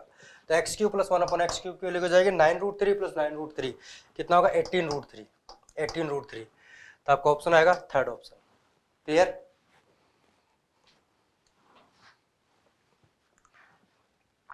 इसमें से x का मान निकालना है। फोर की पावर x प्लस वन की power one upon sixty four है तो x का मान निकालना है। तो ये होगा फोर की power x plus one one upon sixty four होता है, x की पावर मतलब ये नीचे होगा फोर फोर की पावर थ्री हो जाएगा। नीचे क्या हो जाएगा? फोर की पावर थ्री तो ये ऊपर आके क्या हो जाएगा? फोर की पावर माइनस थ्री हो जाएगा। फोर का क्यूब होता है सिक्सटी फोर तो ऊपर आके माइनस फोर हो जाएगा। बेस सेम है तो इसका मतलब पावर भी सेम होगी। तो ये आ गया x plus one equal to क्या होगा? माइनस थ्री तो एक्स की वैल्यू कितनी आ गई? माइनस का फोर आ गया। एक्स की value minus four second option आपका आंसर आएगा. क्लियर टी इक्वल टू एक सौ एक है तो इसका मान बताना है. तो आप इसको क्या करो? अंदर मल्टीप्लाई कर दो. इसको अंदर मल्टीप्लाई कर दो. तो हो जाएगा P cube minus three P square plus three P minus one और ये जो थ्री है, इसका मतलब होगा क्यूब रूट क्यूब रूट तो ये होगा पी माइनस वन का होल क्यूब ये होगा पी माइनस वन का होल क्यूब और उसकी power one by three. Three से थ्री कैंसिल हो गया फाइनली आ गया पी माइनस वन और पी का मान कितना? एक सौ एक। एक सौ एक रखो। तो एक सौ एक माइनस एक कितना आ गया? सौ। तो आपका ऑप्शन होगा first option clear next question x equal to दो माइनस वन अपॉन एक बटे तीन और दो की घात दो बटे तीन तो इसका मान बताना है। ठीक है? तो इस दो को इधर ले आओ। माइनस का हो जाएगा। तो क्या हो जाएगा? एक्स माइनस दो इक्वल टू पहले प्लस की संख्या रख रहा हूँ। दो की घात दो बटे तीन माइनस दो की घात एक बटे तीन। ठीक है? ये हो गया। ये बचेगा। इसमें पहले प्लस की संख्या रखूँगा, बाद में माइनस की रखूँगा। ठीक है? अब मैं इसका क्या कर रहा हूँ? दोनों साइड क्यूब कर रहा हूँ। इसका मैं क्या कर रहा हूँ? दोनों साइड क्यूब कर रहा हूँ। तो क्यूब वाला फॉर्मूला लगाना है। तो होगा A cube minus B cube. B cube कितना होगा? Eight. Minus three A B. फिर होगा A minus B. A cube minus B cube minus three A B A minus B इधर भी करते हैं। ए क्यूब इसका क्यूब कितना होगा? टू की पावर टू की पावर टू बाई थ्री का क्यूब करना है तो थ्री से थ्री कैंसिल हो गया टू की पावर टू बचेगा। इसका क्यूब क्या होगा? टू की पावर टू माइनस सेम ऐसे, इसका क्यूब कितना होगा? टू होगा। फिर आएगा minus three A B three into two की पावर टू बाई थ्री और टू की पावर वन बाई थ्री और होगा ए माइनस बी यानी कि टू की power two by three minus two की पावर वन बाई थ्री, ये आएगा, ठीक है? अब इसको सोल्व करते हैं। एक्स क्यूब माइनस एट ये होगा सिक्स एक्स तो इस एक्स से मल्टीप्लाई होगा, क्या होगा? सिक्स एक्स स्क्वायर और ये माइनस माइनस प्लस हो जाएगा, और ये होगा सिक्स एक्स है, और सिक्स को टू से करेंगे तो ट्वेल्व एक्स हो जाएगा ट्वेल्व एक्स ये कितना होगा? फोर माइनस टू टू की power two by three plus two की power one by three two की पावर टू बाई दोनों का बेस सेम है तो पावर एड हो जाएगा two by three plus one by three कितना होगा? वन होगा तो होगा माइनस ये थ्री इंटू टू की पावर वन हो जाएगा। और इसकी जगह वापस मैं एक्स माइनस दो लिख दूँगा। इसकी जगह मैं क्या लिख दूँगा? एक्स माइनस दो लिख दूँगा, ठीक है? तो लिखे x cube minus six x square और प्लस से ट्वेल्व एक्स और ये माइनस का एट। फोर माइनस टू कितना होगा? टू। और ये सिक्स बच गया। सिक्स को इससे मल्टीप्लाई करेंगे तो क्या होगा? माइनस का सिक्स एक्स और माइनस सिक्स को टू से मल्टीप्लाई करेंगे तो प्लस ट्वेल्व। है अब सिक्स इधर आके प्लस का हो गया। तो क्या हो गया? X cube minus six x square और सिक्स इधर आके प्लस का हो गया तो क्या हो गया? एट्टीन एक्स और ये ये एट उधर जाके क्या हो गया? प्लस का हो गया। तो बारह आठ बीस और दो बाईस हो गया। बाईस हो गया। लेकिन अपने को वैल्यू पूछ रहा है इसकी। इसकी वैल्यू पूछ रहा है। तो इसमें ये तो आ रहा है, ये सारा टर्म तो आ रहा है, ये 18 नहीं है। तो आप इसमें क्या करो? दोनों साइड 18 ऐड कर दो।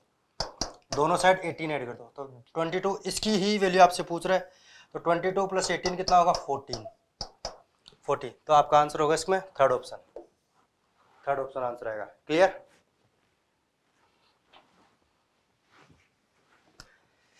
measuring each of interior angle of regular polygon never be polygon का इंटीरियर एंगल कौन सा नहीं हो सकता?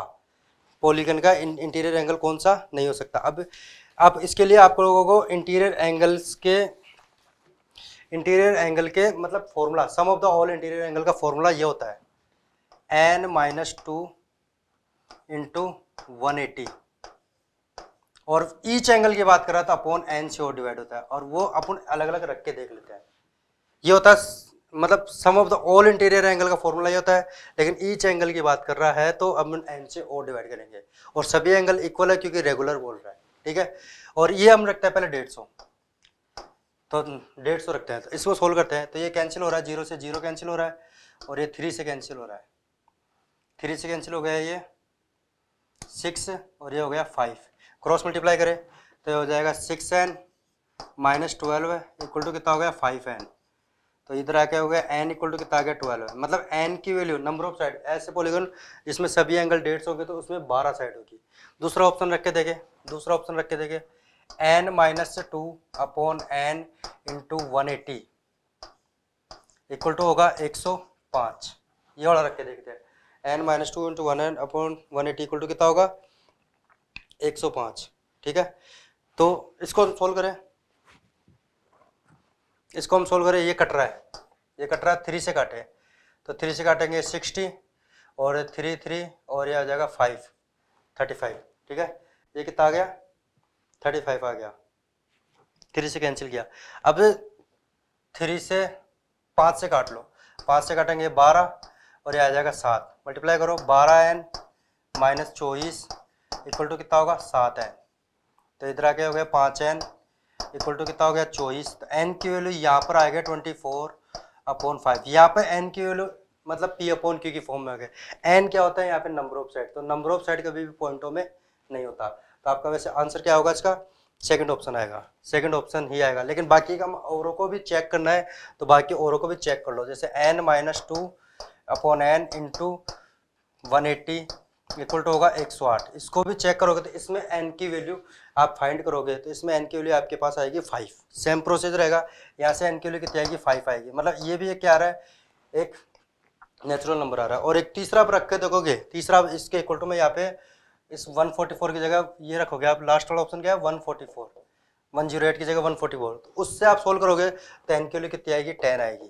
तो मतलब सब में से एन की वैल्यू एक नेचुरल नंबर आ रहा है, लेकिन इसमें नहीं आ रहा। तो इसका मतलब ये नंबर ऑफ़ साइड कभी पॉइंटों में नहीं हो सकती तो इसका आंसर कौन सा? एंगल नेवर भी कौन सा एंगल नहीं हो सकता? सभी एंगल 105 नहीं हो सकता। Clear each interior regular polygon of two times of the exterior angle interior angle exterior angle का डबल है। तो इसका मतलब जैसे मान लो एक पॉलीगन बन रहा है इस टाइप से, जो भी है, कितनी साइड है साइड से अपने को पता ही नहीं है ना। तो इसका जो इंटीरियर एंगल है, ये मान लो बाहर का एंगल मान लो एक्स है तो अंदर का एंगल टू एक्स है। Interior angle of a regular polygon is two times of the exterior angle interior angle exterior angle का टू टाइम्स है।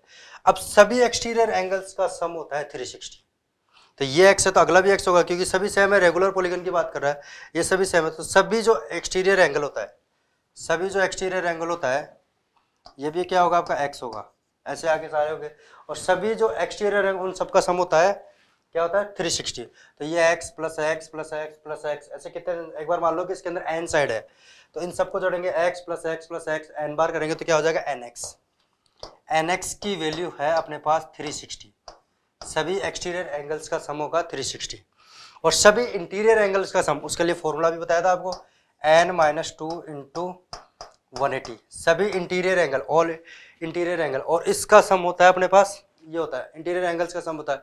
और ये, इनका सम कितना होगा? Two x two x two x two x two x ये कितना होगा? टू एन एक्स होगा। होगा? सभी एक्सटीरियर इंटीरियर एंगल्स का सम होगा ये, और ये किसके इक्वल होगा? टू एन एक्स के इक्वल होगा। अब आप इस रिलेशन को यूज़ करो। एन एक्स की जगह आप थ्री सिक्सटी रख दो। तो हो गया n minus two into one eighty equal to two n x की जगह आप रख दो थ्री सिक्सटी तो ये इससे कैंसिल हो गया दो बार। ठीक है? तो यहाँ पे चार बच गया। तो n minus two equal to कितना हो गया? चार। तो एन के लिए कितनी हो गई? सिक्स इसमें सिक्स साइड्स होगी। तो ऑप्शन है आपका second option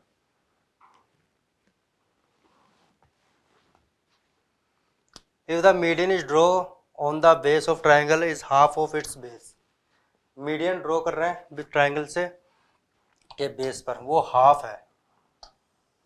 जैसे मान लो, ये मैंने इससे ये मीडियन ड्रॉ किया। ये इस बेस की हाफ़ है। ये इस बेस की, जैसे मान लो ये बेस आपका सपोज़ करो ये बेस आपका टू एक्स है। ये बेस आपका टू एक्स है तो ये मीडियन क्या है? एक्स है।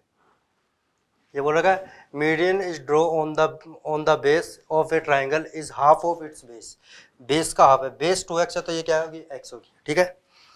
तो ट्राइंगल कौन सा होगा? ठीक है? अब ये एक मीडियन है तो इस सामने वाले जो बेस है, उसको भी दो इक्वल पार्ट में डिवाइड करेगा तो इसका मतलब ये भी क्या होगा आपका एक्स होगा ये भी क्या होगा एक्स होगा। ठीक है? अब इस ट्राइंगल में एक चीज़ देखो, इस ये साइड और ये साइड इक्वल है तो इनके अपोजिट एंगल भी इक्वल होंगे। तो ये एंगल सपोज़ करो अगर थीटा है तो ये भी कितना होगा? थीटा ही होगा। ये वाला एंगल भी कितना होगा? थीटा ही होगा। ठीक है? क्योंकि इन दोनों के अपोजिट एंगल भी क्या होंगे? इक्वल होंगे। और सेम ऐसे इसमें कॉन्सेप्ट लगेगा, अगर ये दोनों साइड इक्वल है तो इनके अपोजिट एंगल भी इक्वल होंगे तो ये एंगल मान लो एल्फा है। तो ये एंगल भी क्या होगा? एल्फा होगा। क्योंकि अब अपोजिट साइड अगर साइड से इक्वल हो तो उनके अपोजिट एंगल भी क्या होंगे? इक्वल होंगे, ठीक है? अब इसमें ये देखो, ये अल्फ़ा और ये अल्फ़ा है। अब ये देखो, ये वाला एंगल कितना होगा? ये वाला एंगल होगा 180 एटी माइनस टू थीटा ये वाला एंगल क्या होगा? इस ट्राइंगल में देखो 180 180 में से इन दोनों को माइनस कर दो। तो ये वाला एंगल होगा 180 एटी माइनस टू थीटा और सेम ऐसे ही, इधर वाला एंगल होगा 180 eighty minus two alpha one eighty minus two alpha ये होगा। और इन दोनों एंगल्स का सम कितना होगा? एक सौ अस्सी, क्योंकि लीनियर पेयर है। तो इन दोनों एंगल का सम होगा एक सौ अस्सी। तो वन एट्टी माइनस से two alpha plus one eighty minus से टू थीटा इक्वल टू होगा वन एटी ठीक है? 180 से 180 कैंसिल हो गया। ठीक है? तो ये आ गया 180 इन दोनों में से टू टू कॉमन आ रहा है। टू कॉमन आ रहा है तो alpha plus theta equal to हो गया ज़ीरो ये उधर जाके पॉजिटिव हो गया। तो two into alpha plus theta equal to कितना हो गया? 180 और तो अल्फ़ा प्लस थीटा कितना होगा? 180 एटी अपॉन टू कितना होगा? 90 यानी कि ये वाला जो एंगल बनेगा, वो कितने का बनेगा? 90 डिग्री का। तो ये कौन सा ट्राइंगल हो गया? राइट एंगल ट्राइंगल हो गया। ये कौन सा ट्राइंगल हो गया? राइट एंगल ट्राइंगल हो गया। Clear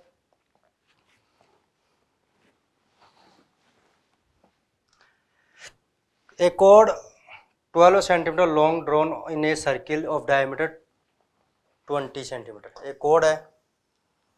जो 12 सेंटीमीटर की है। एक सर्किल के अंदर ड्रॉ करते हैं। ठीक है? डायमीटर कितना है इसका? 10 है। तो रेडियस कितनी हो डायमीटर 20 है तो रेडियस कितनी होगी? 10 होगी। ये इसकी रेडियस कितनी हो गई? 10 हो गई। और कोड कितनी है? 12 सेंटीमीटर की है। तो डिस्टेंस ऑफ़ द कोड फ्रॉम द सेंटर ये डिस्टेंस निकालनी है। ये अपने को फाइंड करना है। तो ये बारह की है तो ये छः की हो जाएगी। पाइथागोरस थ्योरम से दस आठ दस आठ छः का एक पेयर होता है तो आप एक्स की वैल्यू निकालोगे पास सौ माइनस चौंसठ सौ माइनस छत्तीस, चौंसठ होगा तो चौंसठ का रूट कितना होगा? आठ होगा। तो ये क्या आएगा? आठ आएगा इसका answer clear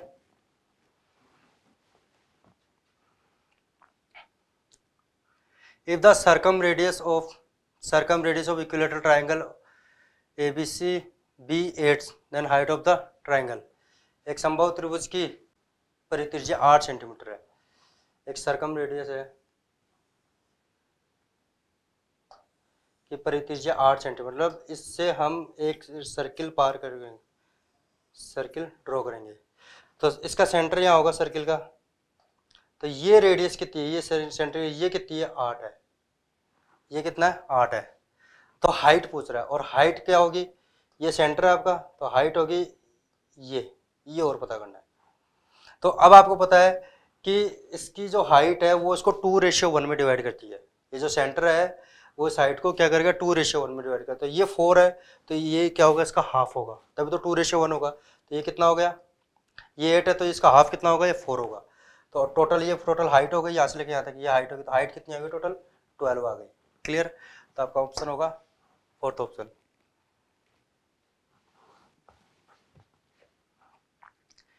if the three medians of a triangle are same then triangle is एक ट्राइंगल के तीनों मीडियन सेम है। तो ट्राइंगल कौन सा होगा? ये लेंथ ये लेंथ और ये लेंथ तीनों लेंथ सेम है। तो ट्राइंगल ऑफिशियल इक्विलेटरल ट्राइंगल होगा। इक्विलेटर आइसोस्केलर ट्राइंगल में तीनों मीडियन सेम नहीं हो सकती। ऑप्टिज में भी नहीं हो सकती और राइट एंगल ट्राइंगल में भी नहीं होगी। तो इसका आंसर आएगा equilateral triangle length and breadth of a rectangle is increase by forty percent and twenty percent then the percentage change in the area of rectangle rectangle का एरिया लेंथ देखो length में इंक्रीज हो गई। Increase हो गई। कितनी? Forty percent increase हो तो फोर्टी परसेंट इंक्रीज होने का मतलब होगा वन फोर्टी परसेंट तो लेंथ जो न्यू लेंथ हो गई, वो क्या हो गई? पहले वाली लेंथ की 140 परसेंट हो गई। क्योंकि वो इंक्रीज हो गई। पहले मान लो सौ थी तो अब वो 40 और बढ़ गई। तो 140 परसेंटेज हो गई। और ब्रिथ कितनी? सत्तर परसेंट इंक्रीज हो गई तो ये हो गया 170 percent.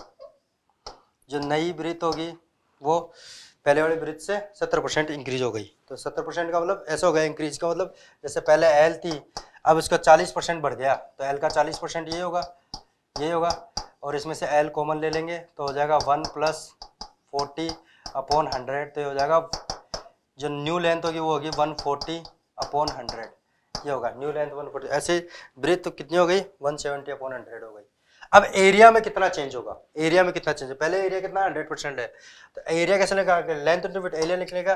L one into b one तो हो जाएगा one forty upon hundred into one seventy upon hundred into ये हो जाएगा एल इंटू बी को मैं लास्ट में लिख दिया। ये ज़ीरो से, ये ज़ीरो कैंसिल हो गया, इस ज़ीरो से इस ज़ीरो कैंसिल हो गया।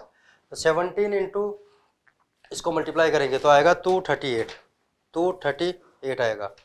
सेवनटीन इंटू फोर्टीन को मल्टीप्लाई करेंगे क्या आएगा?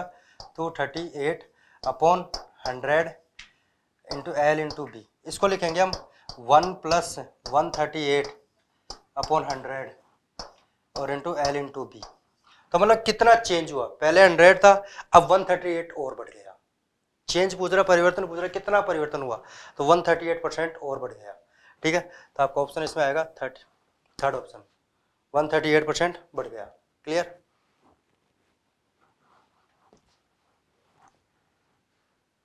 total surface area of hemisphere is one six six point three two तो करो सरफेस एरिया बताना है इसका। तो टोटल सरफेस एरिया होता है, इसका फॉर्मूला होता है three pi r square hemisphere का टोटल सरफेस के एरिया का फॉर्मूला होता है थ्री पाई आर स्क्वायर ये होता है। हेमिस्फेयर का total surface area three pi r square होता है। ठीक है? और ये अपने को कितना दे रखा है? वन सिक्स तो इसका हम लिख दे पाई की वैल्यू रखो twenty two upon seven r square equal to होता है one six point three three two r square equal to क्या होगा? One six point three into seven upon two into twenty two clear यहाँ से आप calculation करोगे तो r की वैल्यू आर की वैल्यू होगी, इसका रूट होगा। आर की वैल्यू आएगी फोर पॉइंट टू आएगी। आर की वैल्यू इसकी कैलकुलेशन करोगे तो आपके पास आर की वैल्यू आएगी फोर पॉइंट टू आएगी, ठीक है?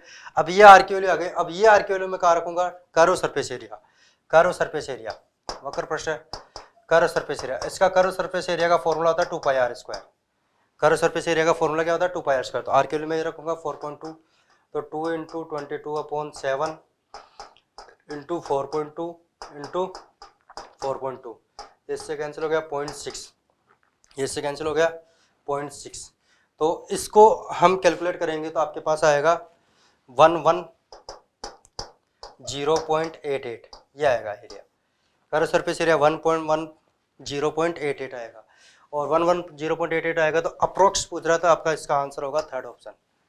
बाकी इससे दूर आंसर है। Clear? Next question. If the centroid of triangle A B C G is the centroid of triangle A B C और area of triangle A B C forty eight तो area of triangle B G C का आपको area निकालना है। तो एक triangle है A B C ये ए बी सी एक ट्राइंगल है। इसका जी क्या सेंट्रोइड है। यहाँ पे सेंट्रोइड यहाँ पे होगा। बीच में होगा तो वो क्या होगा? जी है। तो ये जो सेंट्रोइड जी है तो इसको और इसको ज्वाइन कर रहा हूँ मैं। और ये आपका जी आपका यहाँ पे सेंट्रोइड है। तो आपको एरिया निकालना किसका? बीजीसी आपको बीजीसी इसका एरिया निकालना आपको। इस ट्राइंगल का एरिया निकालना है।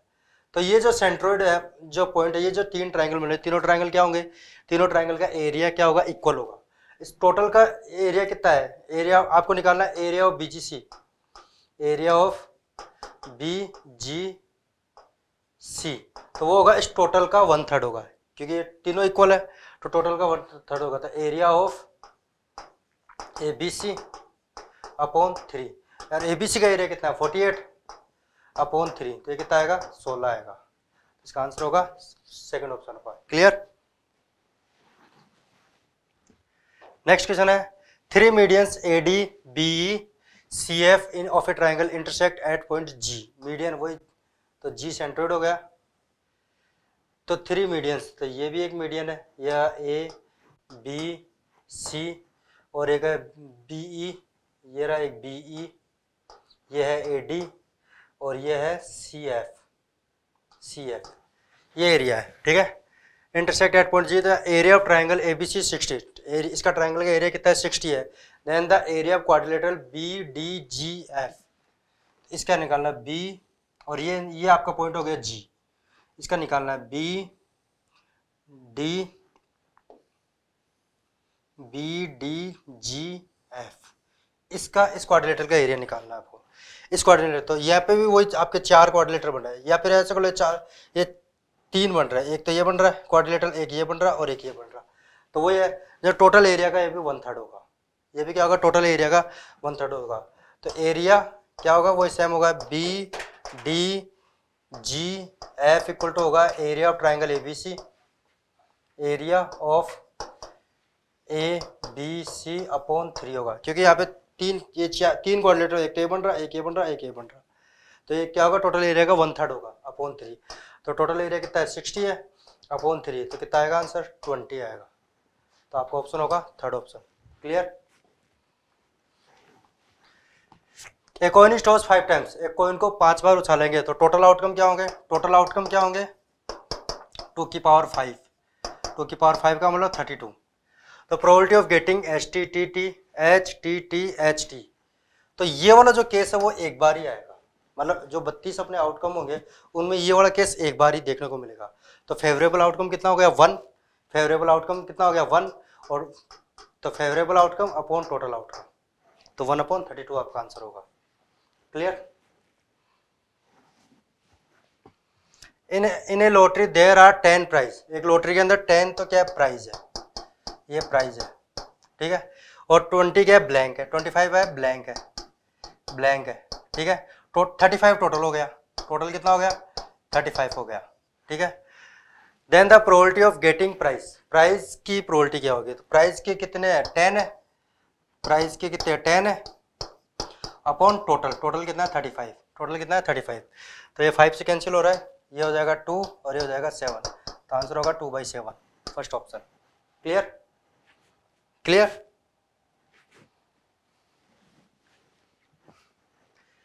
which point on y axis is equidistant from the point इन दोनों पॉइंट वाई एक्सिस पर ऐसा पॉइंट बताओ जो इन दोनों पॉइंट से इक्वी डिस्टेंस पर इक्वल डिस्टेंस पर है।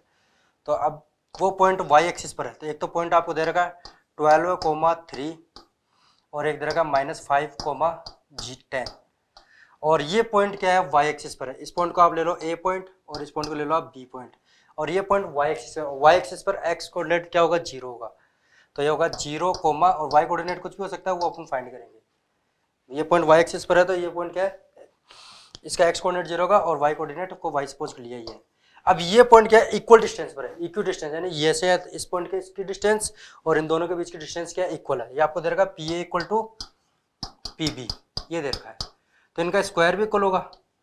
इनका स्क्वायर भी इक्वल होगा। अब इनमें मतलब ये दोनों डिस्टेंस इक्वल है तो डिस्टेंस फॉर्मूला लगाएँगे। तो हो जाएगा twelve minus zero twelve minus zero का होल स्क्वायर ये होगा वाई माइनस थ्री का whole square y minus three का होल स्क्वायर इक्वल टू ये होगा minus five minus zero minus five minus zero का होल स्क्वायर और ये होगा वाई माइनस टेन का होल स्क्वायर।